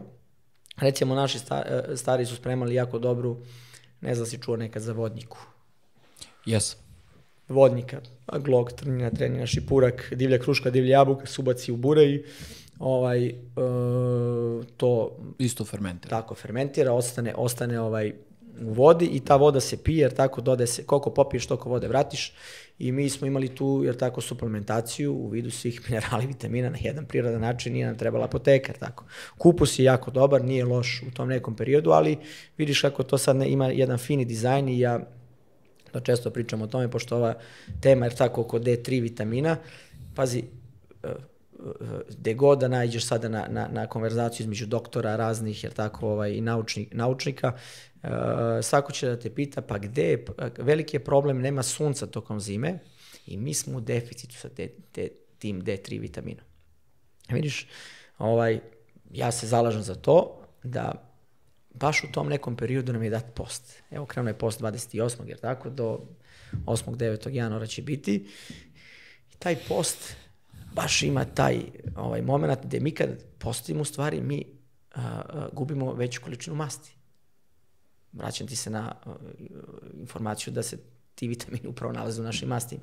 Znači mi dobijemo, to svako može da uradi test na sebi od 10 dana, da proba da uradi D, D, D vitamin u krvi i da vidi koja je količina D vitamina i onda da isposti svoj organizam 10 dana i da uradi ponovo. Imaće veće količine D vitamina. A, zašto ti govorimo? Zato što ta hrana mi treba da oskude, mislim da oskudevamo, da jedemo, da postimo u tom nekom zimskom periodu, da jedemo dovoljno. Dovoljno. Pa čak i tu hranu koja je malo fermentisana, koja može da na, koja nije najidealnija, tako, ali može da nam posluži da bi bili zdravi tokom zimskog perioda. Pazi, u zimskom periodu i u tom nekom proličnom periodu dobijemo epidemije. To je ono što danas nam serviraju. Epidemije u ovom slučaju zimskom plućne bolesti, a u letnjem prolećnom delu dobijamo a, a, a, stomačne. Da, stomačne, stomačne i alergije. Da. Kasnije alergije, ali u tom prvom momentu dobijamo stomačne viruse, jer tako. No. Kada mi, mi u ta dva perioda postili, a pazi, u ta dva ovaj, perioda imamo dva velika posta, tako, imamo božićni, imamo u ovom pak periodu imamo vaskršnji poster, tako. Kad bi mi postili ta dva perioda i ovaj, e, konzumirali hranu koja je biljnog porekla, tako, pa čak i malo skudevali sa hranom u neko doba dana da ne jedemo i tako dalje i tako dalje, mi bi dobili, mi ove viruse ne bi imali kao opciju, to jest ne bi imali pandemijske reakcije. Tako da ovaj ljudi koji su postili i koji su se bavili malo drugačijom fiziologijom, oni apsolutno nisu imali te probleme. Jasno. O, ovo inače samo za kakao, u stvari tanin je problem, a kod mleka je kazein. Kazein, tako. Malo sam ja permutovao, da. ali evo sad kad smo znači kod mleka, mi smo poznati isto u Srbiji da dosta volimo sireva, mlečnih proizvoda i tako dalje. Koliko je tog smemo da jedemo? Pa, mislim da čak i Jovana Mašić priča o tome, ovaj, da mi imamo studije danas, mislim, mnogo studija, najveća studija doktora Colina Campbella koja govori da taj kazein uopšte nije, nije uopšte varljiv, jer tako da mi imamo probleme i da mleko kao mleko, eh, ako sagledamo aminokiselinski sklop, znači mi imamo u, u mleku imamo pun taj tih 20 aminokiselina koje su potrebne da bi taj protein bio kompaktan, jer tako, da bi mogo da se absorbuje u našoj ćeliji. Šta je problem? Problem je što mi imamo podatak da te, aminokis, te aminokiseline, to je taj celokupni protein kad uđe u naše telo, on je vezan već. I šta je problem? Problem je to što naše telo onda mora putem enzima da to razdvoji na delove, pa tek onda ponovo da spojite aminokiseline, pa tek onda da ga preko nekog, ako u slučaju muškarac, jer tako testosterona prenese po telu i da ga dovede do ćelije. A, to je proces koji traje dugo, jako dugo traje. A, drugo, imamo u mozgu neku hematoencefaličnu barijeru, ja sam to stalno pričam o tome, koja, to je kao neka, jer tako, kao neko sito, jer tako, i koje tu aminokiseline treba da prođu, recimo da dođu do naših, konkretno recimo tirozin i ovaj, a, a, a, dopamin treba da dođu, to jest tirozin treba da dođu do, do ovaj, a, žlezda da, i da, se, da bi se lučio dopamin hormon recimo. Ti ako uneseš te proteine iz mleka ti praviš u svojoj toj barijeri hematoencefaličnoj praviš bukvalno začepljenje jedno. Gde mi, nama više ti hormoni ne mogu da dođu do mozga da se luče određeni hormoni zadovoljstva, sreće, regeneracije i tako dalje i tako dalje. Šta mi dobijemo onda? Evo dobijemo ovo što imamo na terenu. Agresivnu decu. Dete koje je agresivno znači da je velika količina kortizola u krvi. Nema dopamina, nema serotonina. Znači, nema ovih hormona koji su vrlo važni za zadovoljstvo deteta. Iz opuštanja. Iz opuštanja, jer tako. Znači, dobijamo besnu decu, dobijamo depresivnu decu. To nam pokazuje ovaj podaci na terenu, jer tako. Dobijamo depresivne ljude generalno, zato što konzumiramo namirnice životskog porekla, to jest konkretno proteine životskog porekla. Ako mi sagledamo kako to funkcioniše biljni protein, on nema, on nije vezan u ošte lance. Znači ti kad uneseš aminokiseline iz biljaka ti dobiješ jednu, jedan ambijent gde je to sve razdvojeno, ima svoje enzime, jer tako, i ti to samo telo treba da sklopi, jer tako, i da pošalje u sistem. Oni su vrlo malog molekula, te aminokiseline i mogu da prođu kroz te barijere hematoencefalične i da nam daju to što treba da nam daju, jer tako. Tako da mleko kao mleko samo po sebi što manje, to bolje, jer tako. Drugo, evo, spomenuo si ti alergiju, sve alergijske reakcije, uopšte astma, jedan od uzroka, velikih uzroka astme je i to mleko. Tako da deci treba izbaciti mleko i treba dati ovo, ako već praviš zamenu, bademovo, orahovo mleko je dobro. Biljna mleka, biljna znači, mleka, ali ali ne kupovna, nego sam da ih praviš. Ja ne mogu sada da nađem, ali možda ako Stefane ti uspeš da nađeš online, ovaj, postoji doktor koji je proučavao izmet celog sveta. On je bukvalno uzimao stolice iz Afrike, iz Evrope, Svaka mu iz. Amerike. Baš je bio onako posvećen tome u smislu da je čak pratio i obim i geometriju i svega. I on je došao do zaključka da a, ljudi u Africi često imaju uh, re, češću stolicu i da je njihov izmet, da kažemo, kako sad to da objasnim, ali celoviti izduženiji. Dok, na primjer, u Americi uh, ljudi koji imaju, uh, koji dosta jedu, kažem, aj, na, na, nazovi uh, bolju hranu u izobilju, iako to tehnički onda očigledno nije bolja Da. hrana, njihova stolica je više uh, grudvasta, uh, iscepkana i nema ta vlakna koja treba očigledno organizmu. I on je došao do zaključka da je u stvari neophodno maksimalno tih biljnih pravih vlakana koji pomažu adekvatnoj probavi uh, u organizmu i čovjek kroz potpuno suludu studiju ko bi proučavao izmet je došao do zaključka da zapravo ovo što vi govorite je prava stvar. E sad, često mene ljudi pitaju, Vlado, ovaj, ja idem, kaže, jednom u dva dana u WC na tu ovaj, uh, veliku nuždu, što bi rekli, i kaže, meni je potpuno okej. Da li je to zdravo ili nije? A nije, uh, apropo Afrikanaca, oni su, znaš kad su prvi bolesti dobili Afrikanci, uopšte diabetes, kad se prvi put pojavio kod Kad? njih i uopšte hronične bolesti, ove koje mi imamo danas, uh, zapadna Evropa, tako? Kad im je stigao McDonald's. Ne, kad, kad su im stigle pomoći iz aviona, Dobro. paketi iz aviona. Tad su im stigle one paketi Tu su bile viršle. Pa sve ove razne junk food, jer tako, ove, industrijska hrana, u vidu čokoladica, McDonald'sa, svega toga. I oni su prvi, počeli, prvi put velika količina mleka, jer tako, u svim tim u svim tim nekim proizvodima se nalazi baš upravo velika količina mleka. Oni su dobili prve, prvi put ove hronične bolesti koje imamo mi, jer tako. Tako da ta studija, ja nisam znao za tu studiju iskreno da budem.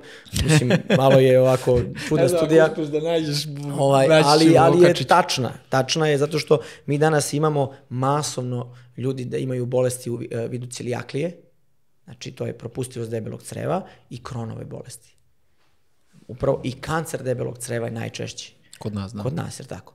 Baš zato što nemamo praženje, jer tako. Mi imamo, ako pogledamo anatomiju debelog creva, on ima neke određene svoje džepove. koji kada počne da se taloži ta hrana koja, nije, koja ne može da, da izađe bez tih vlakana, jer tako, mi dobijemo uh, veliku količinu otrova upravo u tom debelom crevu i uh, dobijemo mehanizam da to naše telo, to naše debelo crevo postane da počne da truli bukvalno, jer imamo studiju Otto Warburga da uzrok svog, jer tako, s- tog nekog kancerogenog stanja je hipoksija, nedostatak kiselnika, jer tako. Tako da, Kisela sredina. kisela sredina. Tako da mi, ako nemamo praženja, barem dva, tri puta na dan, evo malo se nasmejemo, ovaj, nekad je to praženje imalo svoju i, i, i ovaj, e, mehaničku svrhu. Pazi, recimo danas imamo mnogo ljudi koji imaju problem sa debelim crevom, imaju problem s leđima, recimo. Dobro. A nekad je anatomska potreba, to je fiziološka potreba čoveka bila da ide u čučanj. Da, da. jer tako. Jeste. I ako možda pogledamo to po anatomiji, sada ne ulazim u detalje u anatomiju, jer tako ovaj, taj čučanj je bio vrlo važan, jer tako. I lakše i pražnje je bilo u tom čučnju. Samim tim i kad čučamo mi moramo zategnemo i trbušne i leđe mišiće, samim tim. Jeste. To jača svoj neki pršljanski zid, taj, kako da ti kažem, mislim, Zbog milion toga benefita. predlažu onu hoklicu gde imamo kod Pa dece, mislim, ja pred hoklicu ili da se jednostavno izbaci WC šolja, totalno, I da- vrati čučavac i to je to, vidi, nema nekih problema, vidi. A ne, jeste tako, stvarno, jer mi kad, o- apropo one teme koju smo pričali unazad, pa šta se, zbog čega i ovo, zbog čega su nam deca ovako, pa pogledaj dete, evo ti imaš malo dete, ja imam malo dete. Dete svako, kad ode po bilo šta da uzme na pod, ono čučne. Jeste. Jer tako? Jeste. Znači, nikad se ne savije, vidi. Kad gube tu mehaniku? Pa upravo kad prvi put sednu na WC šolju. I kad to traje godinu, dve, tri, oni izgube te mehanizme čučenja. I onda mi dobijemo jednu totalno pogrešnu anatomiju. Loše praženje debelog creva, jer smo konstantno taj neki mišić koji se nalazi oko rektuma, jer tako, pubofemoralis, on zateže zid debelog creva i moramo da mnogo više se napinjamo da bi to izbacili. A onda uđemo u tu fiziologiju, pa onda ne unosimo određena vlakna, ne unosimo hranu koja je lako variva i sve je to jedan ambijent, sinergični ambijent koji naše telo dovodi do, do raznih ovaj bolesti koje si ti sada spomenuo. Tako da na nama je sve.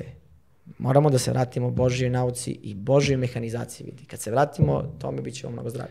E sad kad smo kod, eto i ponovo te Božje nauke i tako dalje, vi držite O2 Pro centar, je li tako? tako je. To je jedan, možete se da nam objasnite, koliko sam ja razumeo, to je jedan specifičan centar oko rehabilitacije i pomoći u regeneraciji kod ljudi, bilo da su povrede ili prosto ako hoće da oporave svoje zdravstveno stanje.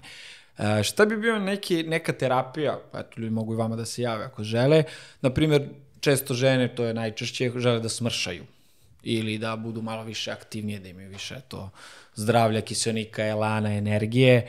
Šta biste vi njima preporučili? Jer vi ste, vi ste meni rekli pre ovog našeg razgovora da, pored toga što imate te hiperbarične komore, da to nije dovoljna samo jedna stvar, nego da je ceo protokol bitan. Kako biste vi to opisali? Evo sad dođe vam neka gospođa, 10-15 kila višak, šta biste vi njoj rekli? Pazi, Ono, relativno zdrava, ne. nema neke hronične bolesti, alergije, to nego prosto... Retke su takve, vidi. Dobro, su ajmo, ali- kažete ali vi recimo neka neki bude, da. najčešći primer, Dobro, ajde. Okej, vidi, vidi ovako. Prosječan primer, slobodno. Ono, ono što je suština, e, spomenuo si hiperbaričnu komoru i apropo ove studije Otto Warburger, tako svaki uzrok svake, bolesti je hipoksija, tako. Mi imamo znači neko nekisioničko stanje u organizmu, tako. I onda telo počne da skladišti otpade baš u tim delovima um, gde, gde se događa ta hipoksija, tako, i onda se stvaraju razna stanja, ciste i, i razna stanja, ali pošto pričamo o gojaznosti. Uglavnom, kod gojaznosti problem je insulinska rezistencija. Znači, kad dođe, ne, ja komoru koristim kao sredstvo. Nikako kao metodu, jer kao metoda ona nema nikakvu svrhu. Ona može malo da poboljša određeno stanje, jer tako i da, i da, uh, da benefit organizma kisoničku, to je da da tu kisoničku sredinu, ali ne može da reši problem. To kao da je boravak na planini, malo, malo više Pa jeste, kiselnika. pa jeste, da, pod nekim posebnim uslovima jedino što je benefit jeste pod tim pritiskom, jer tako taj kisonik putuje preko te krvne plazme i bukvalno gde god da je hipoksija, gde god da je nedostatak kiselnika u ćeliji, ne treba mu čak ni taj neki krvotok, on jednostavno dovede kiselnik. Popuni ga, Tako je, popuni. Tako da ovaj, to je benefit te hiperbarične komore, ali nikako ona kao zasebna. A, insulinska rezistencija je veliki problem. Mi imamo, mislim, u zemlji oko 1.250.000 diabetičara I 2 miliona na granici. koji su insulinski rezistentni, koji imaju često variranje tog šećera. I to je već pokazatelj da mi, da mi imamo veliki problem. To je da je pankreas u velikom problemu. Znači, ako pričamo o, o, o, ovaj, o tom nekom hormonskom disbalansu, znači imamo veliku količinu insulina koji se luči da bi, nam, da bi nas spaslo da ta glukoza jednostavno ne sprži naše telo, a onda nas on uvede u tu neku hipoglikemiju, pa onda naše telo počne da budi taj neki glukagon, to je taj neki ovaj e, hormon koji nam podiže šećer nazad, onda mi unesemo veliku količinu šećera, pa vratimo taj šećer gore i to je stalno gore dole. U tim fazama naše telo, to je naše uh, masne ćelije, nas spašavaju bukvalno. I poku, počnu da uvlače, to jest da tu glukozu pretvaraju u masti da nam da nam uvlače ovaj, uh, uh, da nam prave te masnoće. Uh, te masnoće jesu problem, ali još veći problem je visceralna tečnost. To je tečnost između ćelija međućelijska tečnost. Jer mi danas upravo ovo o čemu ja ti sve vreme pričamo, konzumiramo hranu koja je nelogična za nas. Mi uzimamo šećere koji nisu, koji su monosaharidni, koji su industrijski, koji prave više problema, ne, u stvari ne prave nikakve benefite u našem telu. A, a, I upravo zbog toga dolazi do tog smenjivanja u šećeru, to jest u hipoglikemiji i hiperglikemiji, jer tako. Tada masne ćelije pravi veliki problem. Mi kada smirimo kada počnemo da unosimo hranu koja je a, a, ajde da kažem, dizajnirana za nas u vidu polisaharida. To su neki šećeri koji su, a, ima više tih saharida i u našoj ćeli oni ulaze polako, kada je potrebno. Ne angažuje veliku količinu tog insulina iz pankrasa, ja sam ti napomenuo žitarice, tako orašaste plodove, recimo i, i mahunarke su jako dobre. Mi onda nemamo aktivnost tog pankrasa ovaj, da oscilira, da oscilira da ide gore dole. I kada uvedemo telo u jednu mirnu fazu, da nema oscilacije šećera, a pritom imamo neki mali kalorijski deficit ili ti post, jer tako, prosječan čovjek dan, prosječna žena negde ima oko 1000, 1400 kalorija, jer tako, njen neki bazalni metabolizam, to je osnovni metabolizam za trošenje, jer tako, rada mozga, rada organa, uopšte, znači da ležimo, mi bi taj neki kalorijski uh, unos potrošili, jer tako?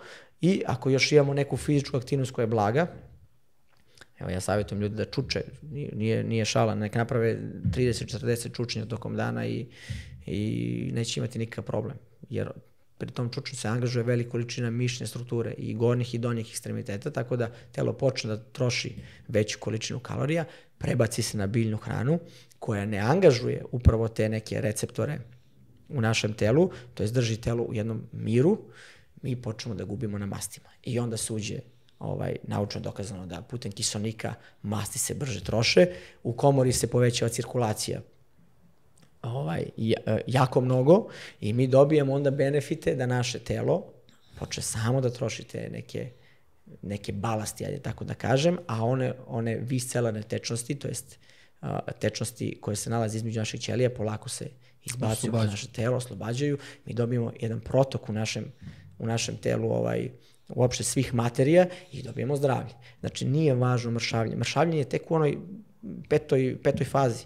Mi moramo da shvatimo da... Da otpušimo, da kažemo, da organizam. Da sistem, pa tek će on sam da, da ga regulišemo i onda će tako, on sam da istopi tako, sve te masti i tako. Znači, vi biste savjetovali, da ga uprostimo, pošto ste vrlo detaljni, znači da polako ljudi prolaze na biljnu ishranu, tako. da izbace ove rafinisane proizvode, tako. šećere, gazirano, tako. čokolade, tako. čipseve i šta tako. već. I dosta tečnosti, vode, da, da to sve može da se istuširamo, što bi se rekli iznutra. To je, to jeste, ali pa evo kad pričamo o tečnostima, znači to je danas, kad odeš da je god kod doktora, on će da ti kaže tečnosti, što više, to bolje.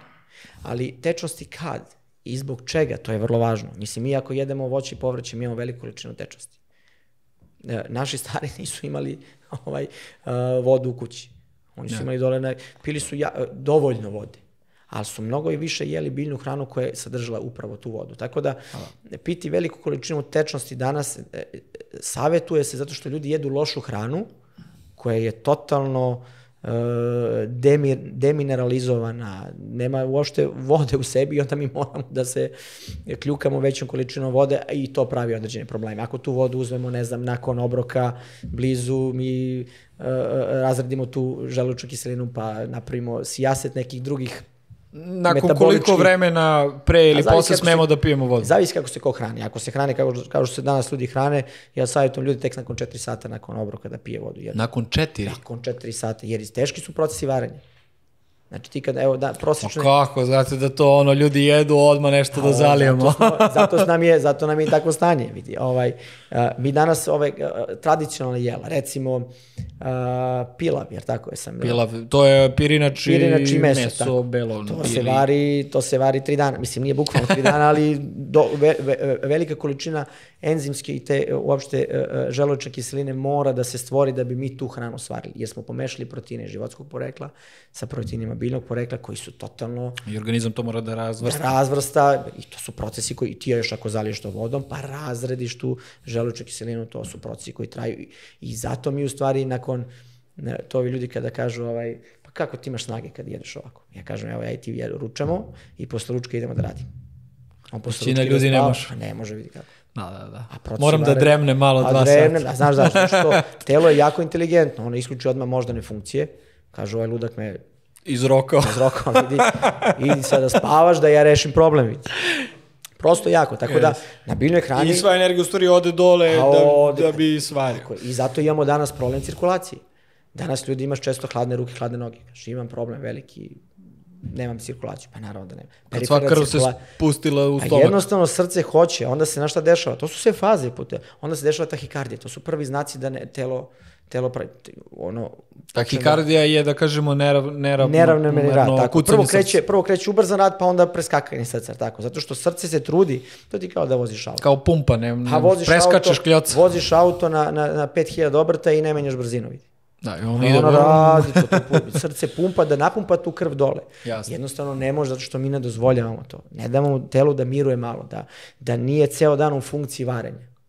Zato što unosimo hranu koja je jako teško variva. Zato smo mi imali u, u stara vremena tako tu neku vrstu posta gde smo se mi lišili hrane. Jeli smo hranu koja je biljnog porekla, vidi. I mislim da tih dana 250 u godini, do 280, tih poslednjih dana u godini. Znači ljudi su mnogo postili, vidi. Jeste. I to je u stvari, to U stvari, je tokom suština. cele godine oni su skoro na biljno iskreni. Ajde, Pa kažem. mislim, jelo 105-6 puta godišnje se jelo. I nije bilo friždera, nije bilo ničega. Oni to zakolju tad, tad se jede i to je Dosoli to. se eventualno Tako, i- jedino i, i možda, možda u masti su držali, ne, ali, ali nije to bilo nešto mnogo. To je, to je 6-7 puta Meni godišnje. je baka pričala koljemo pile za crveno, na crveno slovo kada ono slava ili nešto ili Božić. Inače ono, na primjer, kokoške nije voleo uopšte da kolje. To je bilo katastrofa. Babu su morali da šalju u grad ako će moj otac da zakolje E, emo, kokošku. emotivno je to, emotivno je to E, emotivno, pa da. kod nje su životinje dolaze da sedele u krilo, jer oni su valjda osjećali tu ljubav i da ona nije njima pretnja, očigledno.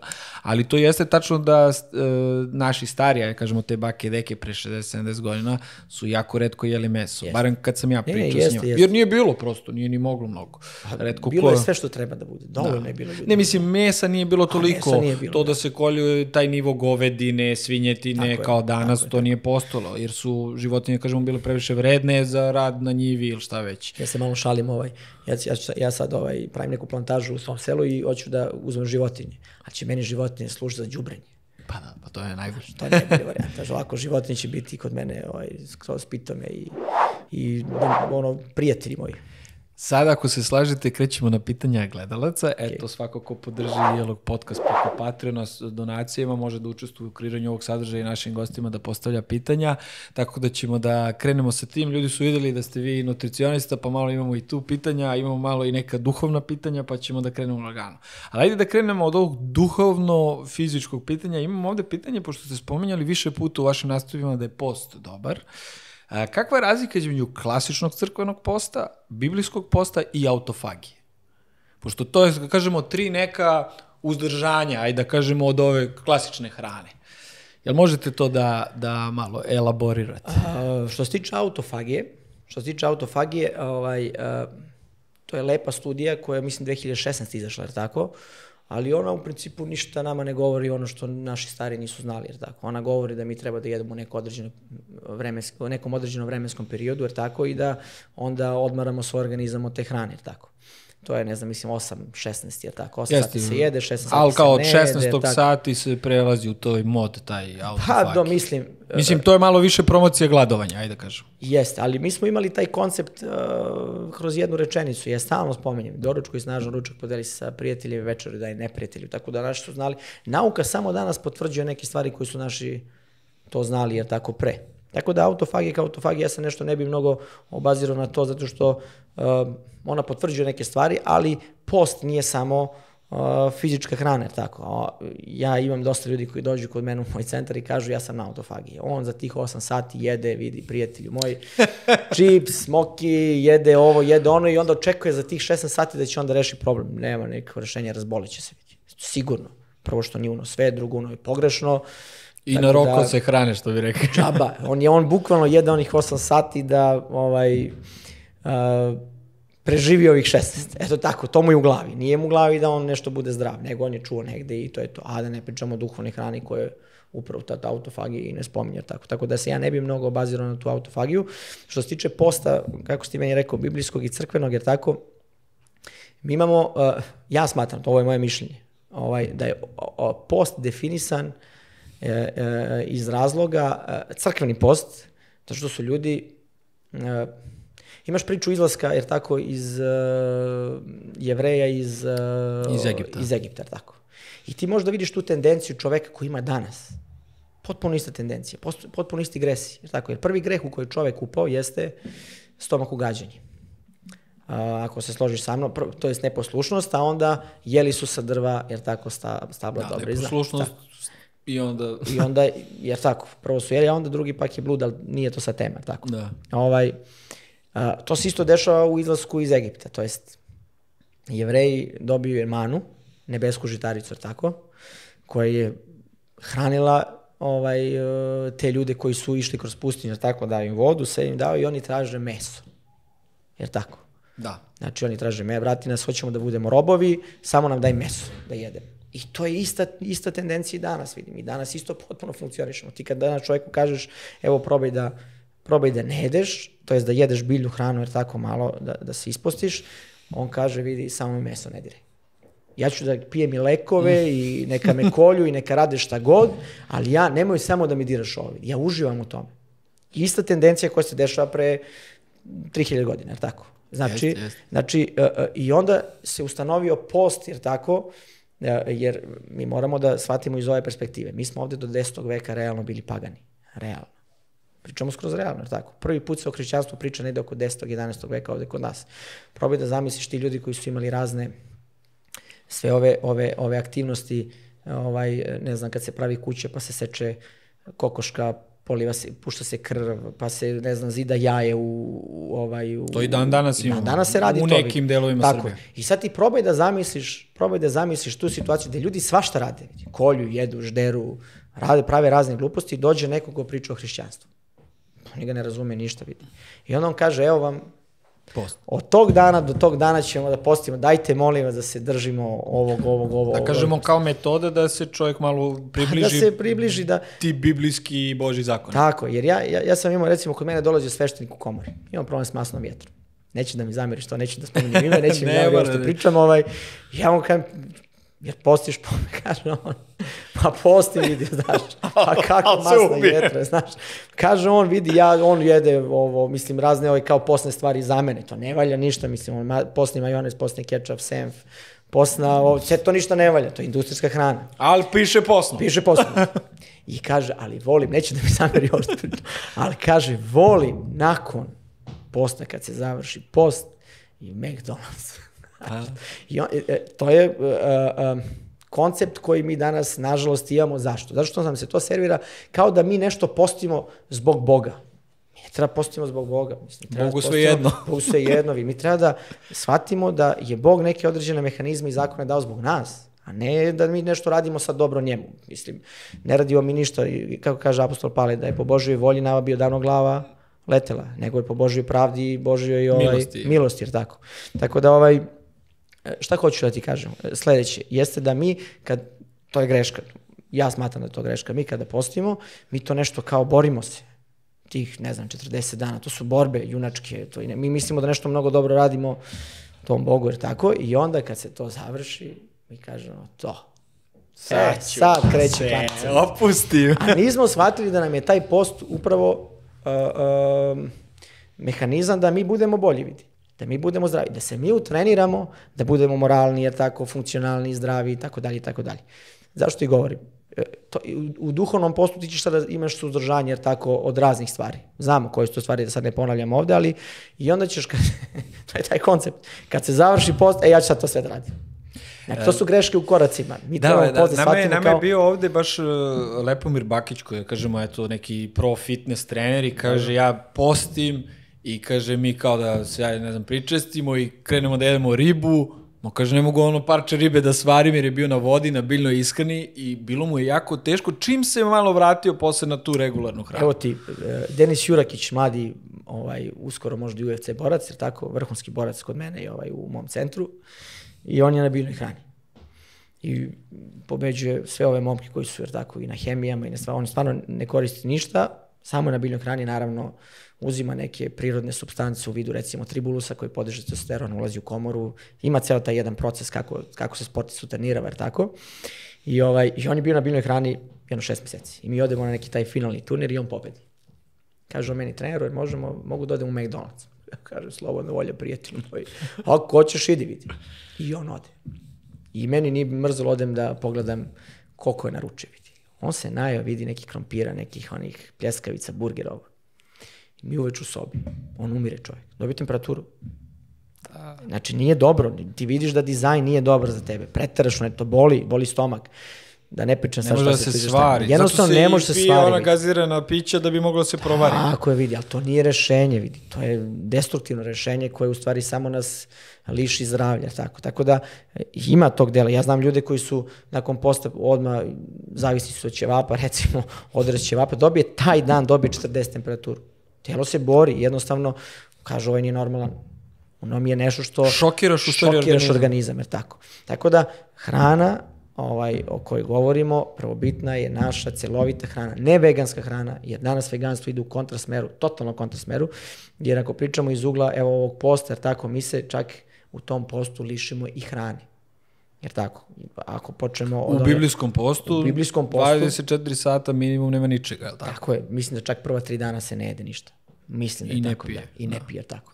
I mi imamo onaj koncept e, sam, samo Hrista kad ga đavo iskušava u pustinji, ako je ovo, ako si ti 40 sin, dana. sin Boži, jer 40 dana, jer tako, sin Boži uzmi ovaj kamen i napravi hleb od njega. On kaže, moja hrana je reč Božija. Znači, misli na Da li je to duhovnost. fizički moguće? Neko će kaže to je nemoguće. Pa, do, mislim, ja sad ne, da ne pričam, ja, sam- ja sam to radio, moguće vidi. 40 dana bez hrane, bez... Ne, ne, ne, 40... e, a, e, e, Uf, ozbiljno to je ovaj, ozbiljna je to tema. Moje, moja supruga je bila 40 dana bez, bez hrane. Dobro. Moja supruga je bola, ja sam tako manje više ovaj, ušao u celu priču ovog znanja koje sada posjedujem. Tako, moja žena je, pričali smo pred emisijom, tako, bila bolela od Hashimotovog sindroma i meni su rekli da neću moći da imam dece. To su bili podaci dijagnostički u tom momentu predno 6-7 godina, jer tako. Da, I da će ceo život morati da prima... hormone, tali su da je tako paleštitnu žlezdu i to su neke faze koje se danas rade ženama, jer tako. Moja žena je bila 40 dana bez uh, ove hrane koje mi danas bila je na nekoj tečnoj hrani, jer tako malo na nekim Kao sokovima, infuzija prirodna. Tako je. I ovaj, ovaj, koristila određene biljne preparate, jer tako i ovaj, uh, Hashimoto sindrom više nije postoje.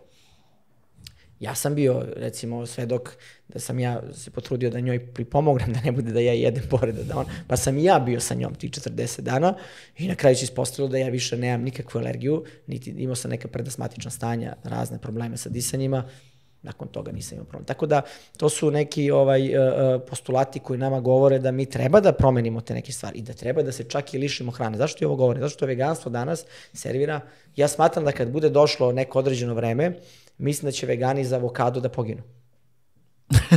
što? Pa zato što je avokado danas, kako nema avokada, mi nismo Ne možemo da živimo. Da, i ako, ako bude došla inkvizicija neka, tako i neka vremena koje mislim da mi ovde znamo, ovaj, koja možda mogu da dođu, možda čak i u neko skorije vreme, da se ne bavimo tom temom, ako ne bude bilo avokada, oni će Hrista da prodaju za avokada.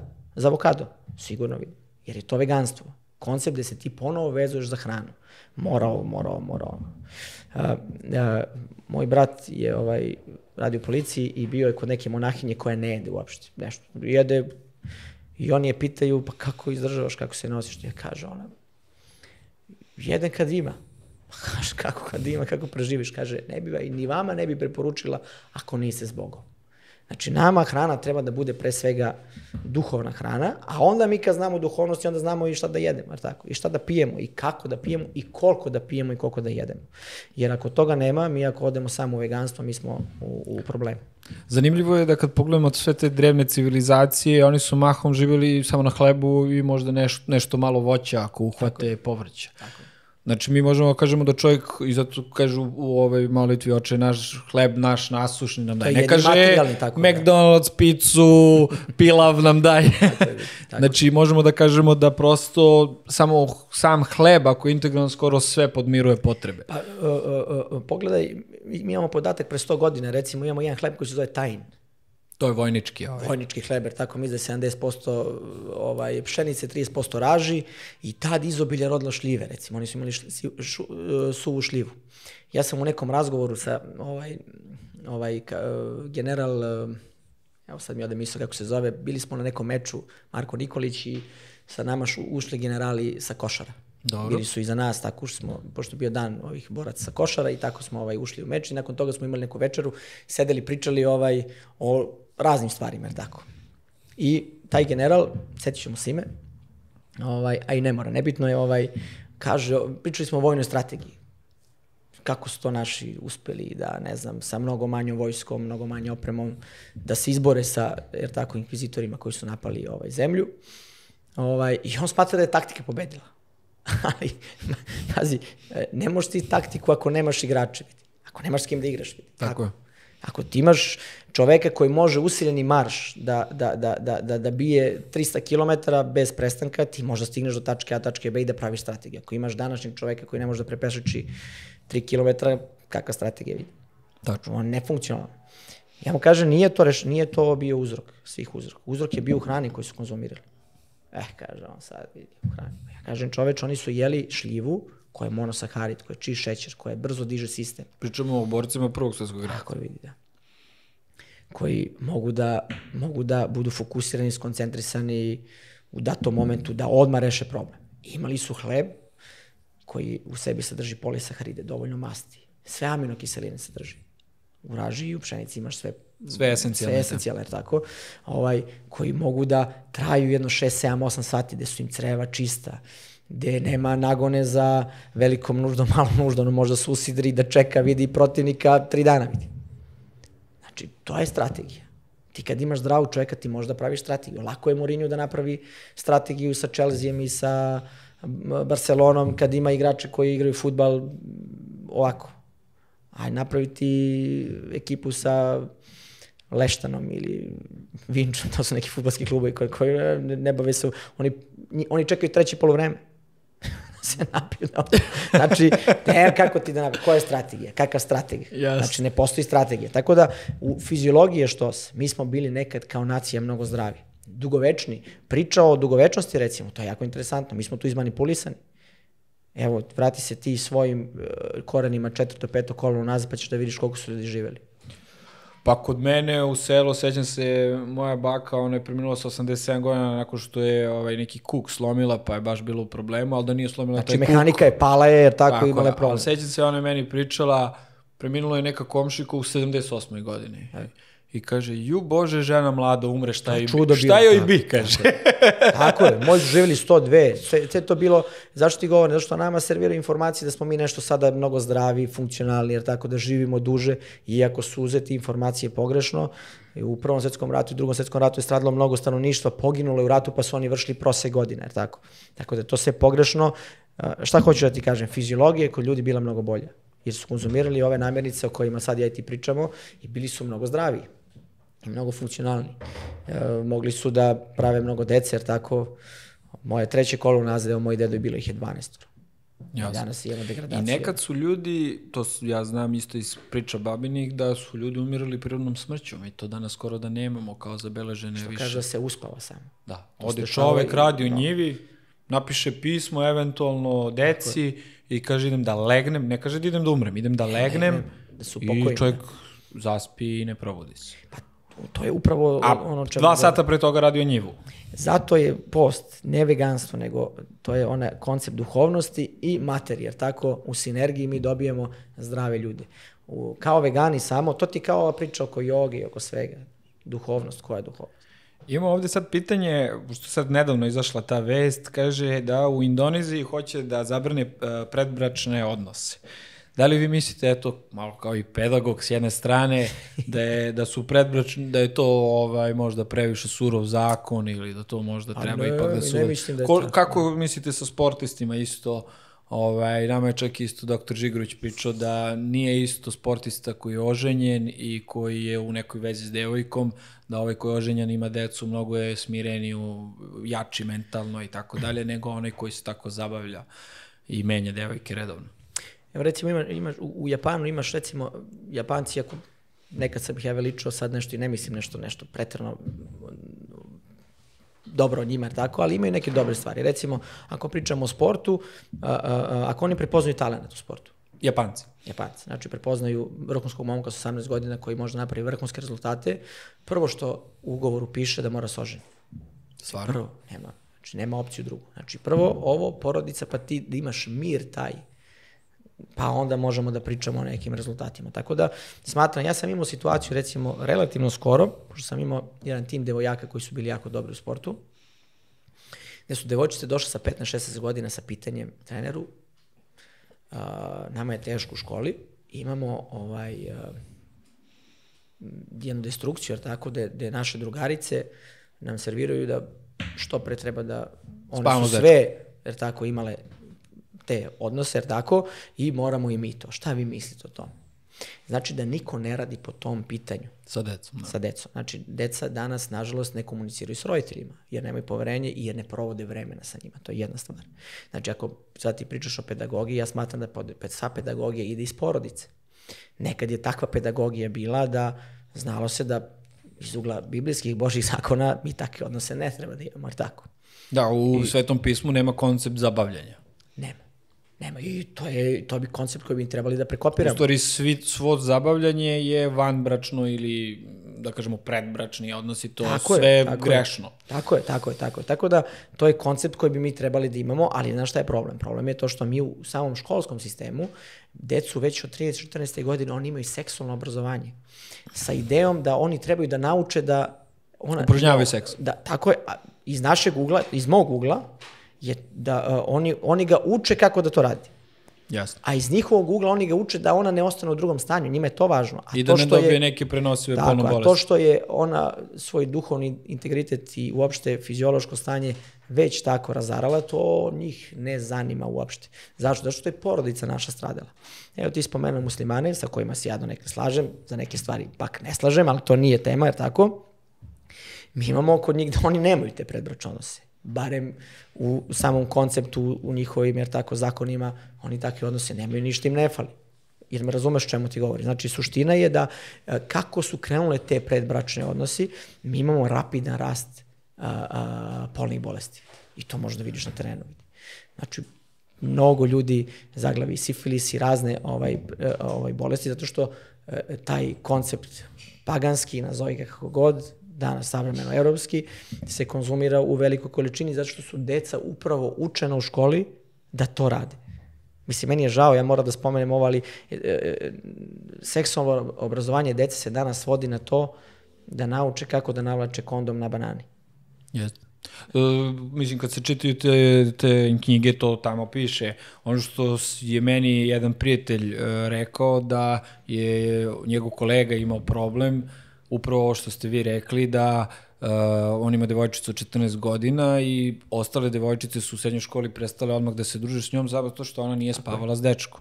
I ona je sad odbačena od celog ženskog društva jer jedina nije spavala sa dečkom. Pričamo o deci 14 godina e, detetu je sigurno to teško, jer ipak ono, želi da ima društvo, želi Tako je, da taj ima... socijalni moment, tako Tako, je. tako je. I sad mi dolazimo, ja mislim da je to ozbiljno zlostavljanje s jedne strane, a s druge strane roditelji su nemoćni, jer kao, šta da kažem detetu? Kako da sad nastavim da dete držim u toj školi? Evo mi sad, evo kad baš smo se dotakli te teme, imamo jednu eksploziju zlostavljanja dece u školi, i ne samo dece, nego ovih nastavnika imamo, sad je skoro bilo ovo u Trsteniku, gde dečaci snimaju vaspitači, nastavnicu i smeju se u lice, ovaj, stolicu joj izmiču i ona žena pada, povređuje se i još to snimaju i ajde da su to oni uradili zarad svog fazona, nego to dele po društvenim mrežama, po Viberu, po TikToku i kao to je nešto smešno ili ne znam ja šta. I dolazimo do toga da nastavnici više nemaju nikakvu ingerenciju, to je prava da mogu to decu da sankcionišu, ništa se ne pitaju, sad to sad hoće da im dodele ovaj, status službenog lica. A, da li vi mislite da u stvari, evo pošto imate i troje dece, da koncept školstva danas mora podhitno da se izmeni i kako biste vi to menjali? Uh, pazi ovo, suština je u tome da mi imamo već jedno 200-250 godina degradacije. U kom smislu? Recimo Dositej Obradović, koji danas deca uči iz škole da je on prosvetitelj, jer tako, prvi prosvetitelj, on jeste prvi prosvetitelj zapadnoevropskih vrednosti. Ja bih više volio da kažem pomračitelj. Znači, nije on ništa prosvetio, jer prosveta i prosvetni radnici bi trebali da prosvetle decu, a jedina svetlost je Božja vrednost. Božja reč, to je jedina svetlost. Vidi, mi ako ne znamo Bogu, mi ne možemo da prosvetimo decu. Meni je žao i te profesore, i te dece mi je žao. I to su deca izmanipulisana, nažalost, i utrejerana u takvom konceptu, ovaj, su deo te prosvete i ona im servira da takve stvari trebaju polako da radi. Jer im je svašta nešto dopušteno. Svašta im je dopušteno. Dok ti u prosvetiteljstvu, pravom prosvetiteljstvu, ti takve opcije nisi imao. Postali su neki zakoni i neka moralna načela koja su te deklarisala, jednostavno šta to ti trebaš da budeš, a šta ti to ne trebaš da budeš. Danas toga nemaš. Evo, imaš sada danas degradaciju, recimo, dece daje, ne znam si čuo za tu drogu, snus, Mm, mislim da sam negde možda... Da, to je jedna... Kao prašak neki, nije. Da, on stavlja ispod jezika, to je neka ovaj, ovaj, kofeinska bomba, to pravi u, u organizmu haos, vidi. I to se sve konzumira u školama, evo, seksualno obrazovanje, ovo, i mi dobijamo jednu destruktivnu naciju. Kako bi to rešio? Ja smatram da to možemo da rešimo jedino ako napravimo jednu instituciju škola koja će biti na nekoj božoj osnovi da li će to da se desi ili neće. Recimo, izradci imaju dobru stvar, oni, nemaju, oni imaju svoj satelit, ne znam da li to znaš. Oni ne mogu, recimo, da kod njih opcija gledanja bilo kakvog sadržaja drugog, osim koji oni serviraju, je nemoguće. Znači, postoji roditelji da zaključaju Autora, svoje... Neto, pa recimo, da zaključuje svoje neke, zaključuje neke, neke ovaj, sajtove, jer tako da deca njihova rastu totalno nekom drugom ambijentu. Smatram da taj socijalni moment treba da postoji i da ljudi trebaju da se, ako već nemamo sistemsko rešenje, da mi pravimo neko, nazovi ga kako god, alternativno sistemske rešenje gde će naša deca a, koja ne da bi bilo koga sablaznili, da se razumemo, ili bilo koga uvredili, svako ima svoj put, jer tako, da pravimo naše alternativne rešenje, da se deca između sebe druže i vaspitavaju, jer, jer ovaj, jednostavno tako ćemo dobiti kvalitetnu naciju, jer ti ako pogledaš mi ne, mi imamo danas destrukciju, jer tako, u, naciji. Među tom decom upravo. Jasno, jasno. Mislim, e, da kažemo, e, glavni koncept, u stvari, kad kažete tih božih principa u vaspitanju bi bio kao što su nekad manastiri bili škole, gde se Recimo.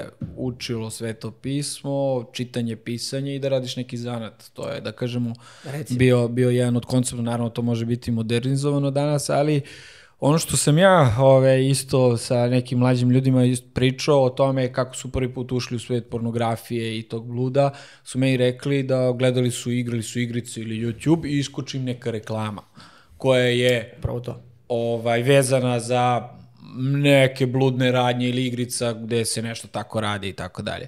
Tako da e, najveći problem koji sam ja takođe video je čak i ako mi detetu zabranimo ili to blokiramo, ono može u školi da vidi od drugog deteta što je isto da kažemo kako sad i to rešiti. Ovaj. Tako da je onda ce, celokupan u stvari sistem mora da bude takav da i deca mora da budu selektivno u smislu, jer, kako kažu, jedna kvarna jabuka može celu korpu da Jeste. ovaj, pokvari. Jeste, slažem se s tobom, ali kažem ponovo, sve ide od, od roditeljstva. Naravno da su roditelji danas, evo ja imam tri čerke, ja sam na teškim, ja mislim da će mi trebati top. Kako se zove, ja, to, je, to je stvarno jedan težak proces, sad su moja deca mala, još nemam, što kaže, malo dete, Tih mali izazova. problemi, veliko dete, veliki problemi i čekaju ti neki problemi, jer tako, ali mislim da od početka, od samog početka, ako se detetu uh, uh serviraju postulati, jer tako, objašnjava, priča, razgovara i ono što je vrlo važno, deca vizualizuju, ako im se da lični primer, oni polako shvataju šta je to dobro za njih i šta je to loše za njih. Veliki problem danas e, obrazovnog sistema je što, upravo što bi rekao Vladika Nikola, tako obraz, obraza se ne dobija u kući. Jer majka danas a, a, a, u stvari dete ne provodi uopšte vremena s roditeljima. Evo ja sam imao jednu situaciju da mi roditelj kaže dete mi je u problemu, molim te porazgovaraj sa njim. On bi tebi volio da se ovaj poveri i tako ima neki probleme. Ja kažem ok, uzmi ti porazgovaraj s njim. Ti si motac. Ja hoću da porazgovaram, ali ti si motac, on sigurno traži tvoju roditeljsku pažnju, odvedi ga, oni ga možda od majke, možda hoće da ti kaže nešto lično, jer tako, odvedi ga na baze negde, popričaj sa njim. I on kaže, ja nemam vremena čoveče, mani me sad tih informacija, razumeš? Ili ti popričaj sa njim. Znači, on neće da uzme odgovornost za svoje dete da porazgovara s njim. I mislim da je tu najveći problem. Jer danas dete provede više u školi, više u tim nekim Za sistemima, telefonom. na telefonom. Po 6-7 sati, 8 sati se provede na ovim društvenim mrežama. Ja sam uzimao dece telefon pa sam ovaj gledao njihovu aktivnost na Instagramu, Facebooku i otprilike oko 6 do 7 sati oni provedu. To je skoro Znači, svo slobodno Svo vreme. slobodno vreme. Znači, on ne provode vreme u komunikaciji. On informacije skuplja iz tih sistema. I tu je u stvari problem. Mi dete trebamo da uvučemo u porodični sistem i to je bio prva vaspitna uh, uh, barijera. Znači, to je bilo sve u stvari tu. Ali ta porodica danas degradira i tu je u stvari, mislim, veliki problem. A, a pošto Nikola Velimirović je rekao za pravo obrazovanje treba imati i obraza, zašto mislite samo da je Dositej Obradović bio pomračitelj, a ne pos- Pa prosvetitelj? ne, to on kaže, pročitaj knjige, mislim, on kaže da je on prosvetitelj zapadnih vrednosti. On je školovan, Ko to kaže? Dositej Obradović. On to kaže. Da, da, on to kaže da nije. On, je, on je školovan u, Na zapadu. na zapadu u Beču, mislim da je ovaj Jeste. univerzitet koji on završio i on za sebe kaže, mi smo, mi smo zapadna civilizacija, mi treba da težimo tim tekovinama i tim vrednostima. Ne kažem da on čovjek možda nije imao dobre vrednosti, daleko od toga, ne, ne, nemam pravo ni da sudim, niti da, a, nego ovde pričamo o sistemu, što niko nije rekao da je prvi prosvetitelj, možda Sveti Sava recimo, jer tako, ko je pričao o nekim konceptima koji su mnogo kvalitetniji i koji su pro Boži, a ne pro uh, zapadni. Kad kažem zapadni, ne mislim na ljude na zapadu. Ima tamo dobrih i kvalitetnih ljudi. Pričamo o sistemima, jasno, sistemima jasno. vrednosti. Jasno, tako jasno. da ovaj, zato je on bio pomračitelj i nikako ne može da bude ovaj uh, kvalitetno školstvo kad leži na, ne može da leži prosveta na vrednostima gde nije Bog. I to Jasno. je kraj priče, tu je, to je prosto jako. Na kraju kraja vidimo rezultate. Rezultati su najmerodavniji. Tako, ako mi vidimo rezultat da imamo destruktivnu naciju, da nam deca su nam sve bolesnije i bolesnije, da su nam sve e, u, psi, u teškim psihološkim stanjima, jer tako, mi vidimo da nešto tu ne ide, da nešto Jasno. tu nije dobro. Ali rezulta, a, rešenja nisu u, u, ovaj, u, u takvim i tim institucijama, već u porodici. Jasno. Evo imamo pitanje, Marko Ignjatović pita koliko je štetna kuvana hrana?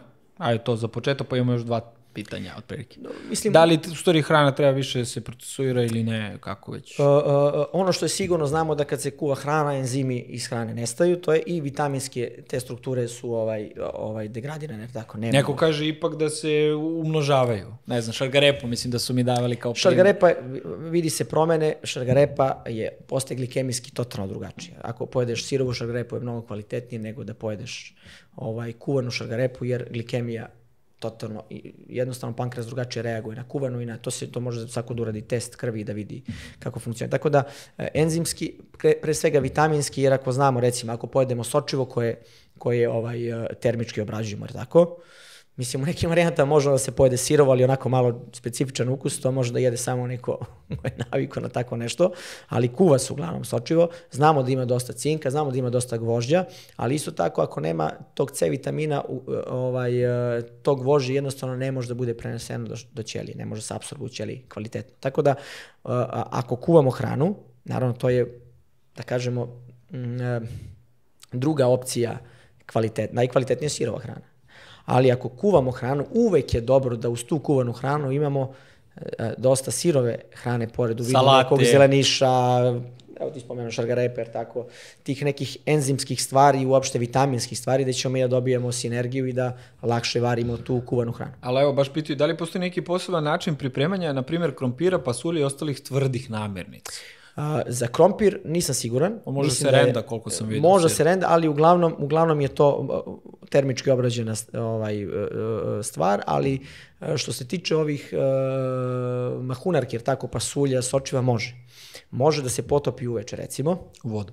u vodu, jer tako i ona, ona, ona, ona omekše, tako nabubri i ujutru može da se spremi pašteta od toga, sirova pašteta. Da se izblenda u stvari. Izblenda se, ali se ubaci recimo dosta začinsko bilje u vidu ruzmarina, u vidu tih nekih uh, uh, nane, svega. Luk, ostalo. vlašac, Luka, ja se uvijek malo šalim, ovaj sveto trojstvo u ishrani je beli, crni i prazi luk.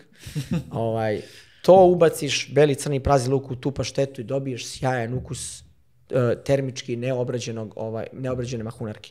I tako može recimo na, na da se pravi eto taj vid A tako u paštete. suštini mogu i lebleblije kao Tako humus i sve tako, te tako, mahunarke. tako, uopšte mahunarke, za krompir kažem nisam siguran, a za mahunarke znam, to jest i ja konzumiram tako, i nekim sportistima svojima koji ovaj, žele da unesu veću količinu proteina, jer tako, jer su proteini vrlo važni za naše telo, ovaj, mogu da unesu preko, preko te paštete, jer tako. Ovde sad imamo jedno trik pitanje, kaže da li u integralnom hlebu prilikom pečenja se gube hranljivi sastojci žitarica? Ne.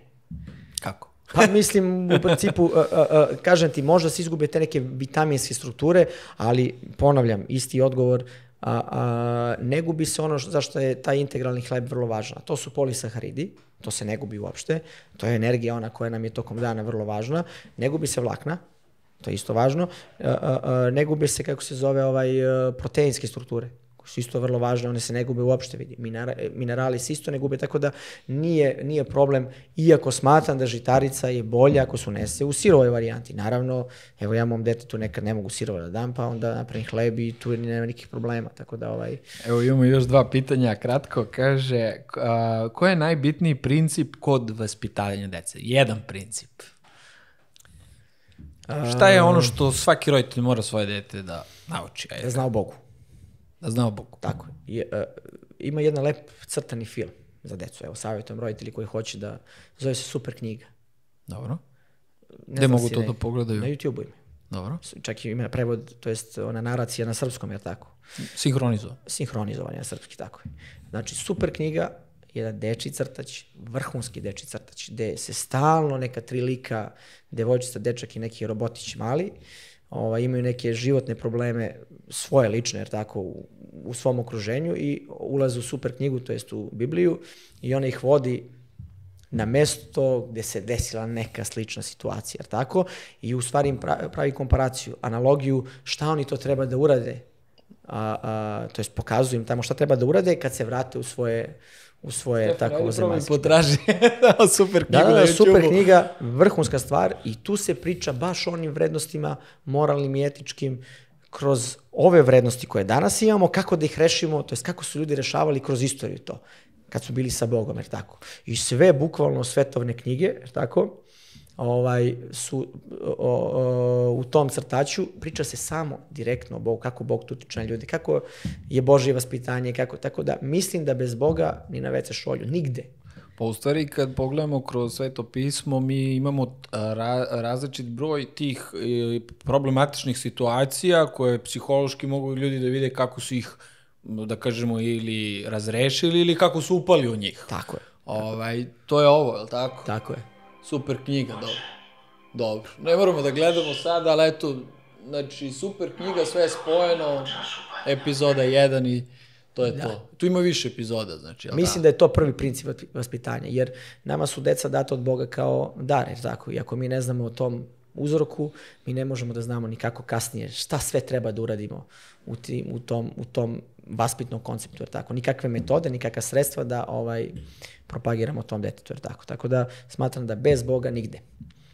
I evo za kraj e, imali smo imamo pitanje ovde e, doktor Nestorović, e, dok, doktorka Dana Grujičić i doktor Ali Kračić ovaj su govorili o tome da može sve pomalo ako je domaće, malo slanica, malo čak i rakica i ovaj čak i malo kafe, nije to toliko strašno. Da li vi mislite da, da je to dozvoljeno eto iz aspekta medicine, e, fizičkog zdravlja, anatomije, da li da kažemo te stvari u malim količinama su opasne ili nisu? Smatram da ne. A objašnju Da, nisu dobre. Da nisu dobre, da. Objašnju i zašto. Mislim, uh, um, moramo da sagledamo uh, suštinski kad su nama neke stvari određene bile dozvoljene. Recimo, ako pričamo o mesu, slanenica, tako, prvo svinjsko meso je najgore meso, ako pogledamo po onoj trofičkoj piramidi iz ugla medicine, to je svašto je najgore meso. Znači, jednostavno, mnogo se teško absorbuje u našem telu i pravi razne probleme, tako.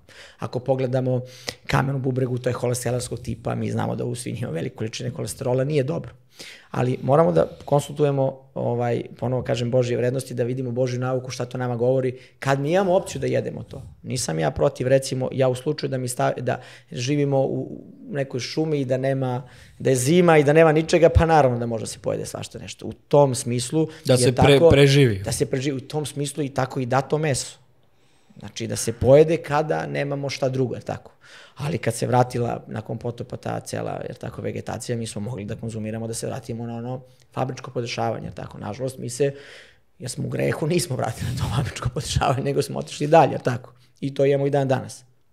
Kafa, slajenica, rakija, to su sve otrovi koje naše telo, uh, jedan gram alkohola ubije milion ćelija. Jedan gram alkohola. Znači, nije dobro.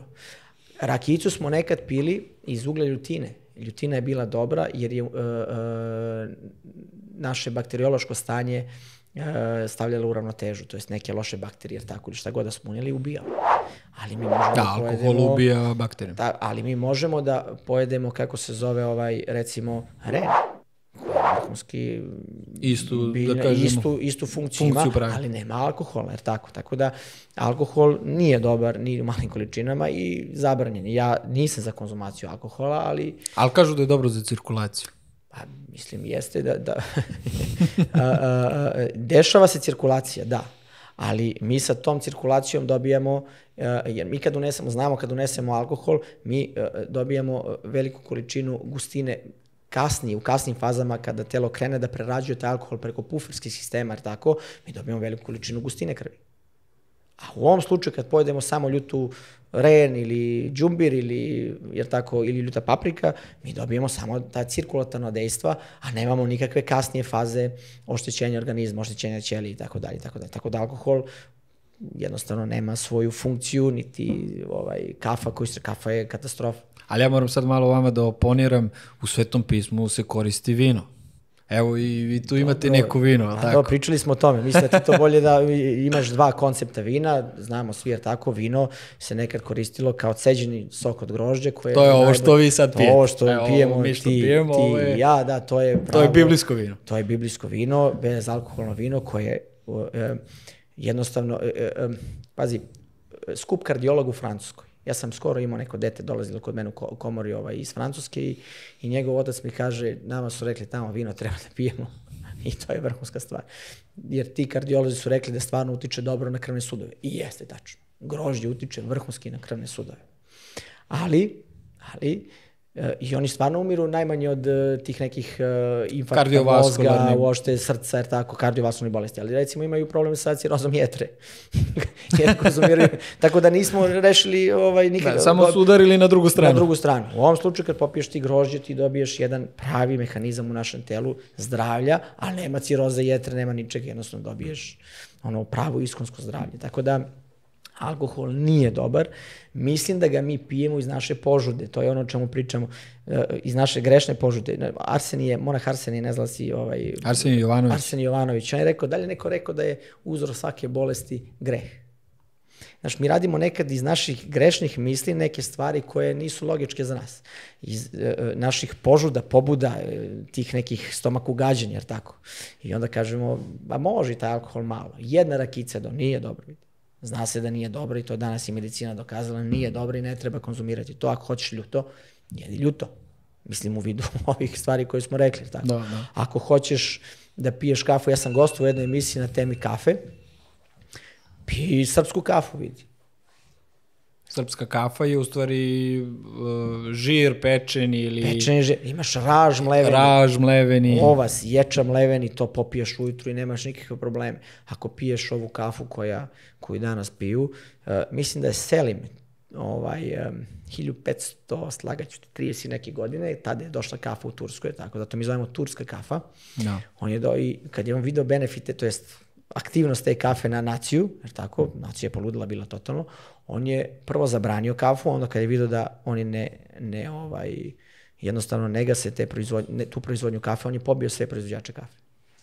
I tako reši. I tako, mislim, malo je surovo Dobro, priča, oni najviše piju u stvari čaj. Kad oni sad piju, ali ta kafa je došla onda kod nas ovde. I mi smo, nažalost, kao i sve, destruktivno pokupili. pokupili i sad imamo jedan, jednu degradaciju. Pazi, u kafi ima, imaš gore doktora Petra Borovića, nađeno je 300 otrova, na- nađen je benzopiren, kancerogeni otrov u kafi. Da. To sve ima u kafi. Drugo, kafa sama po sebi pravi sve žene danas koje imaju nizak pritisak. Direktni uzrok tog nizakog pritiska je kafa. Zato što on digne pritisak pa ga spusti. Tako je, vrati nazad. Telo se bori da, jer pri tom podignutom pritisku može doći do pucanja krvnog suda i onda te telo spašava da jednostavno ne pogineš. Tako da, da ne pričamo o problemima sa kičmenim stubom. Ja ti spomenuo momka, kako se zove, koji je bio ovde za kičmeni stub. Da, doktor Žigrović, Marko Žigrović, on je iz Zagreba i Hrvatske. Uh, ti te pršljenske strukture i uopšte te, između pršljena diskusi su puni vode. Mi kad pijemo u kafu, mi vremenom degradiramo te diskuse, kičma se polako, pršljenski ti delovi se pripajaju i pritiskaju nervne sisteme. Mi danas imamo diskus hernija na svakom koraku.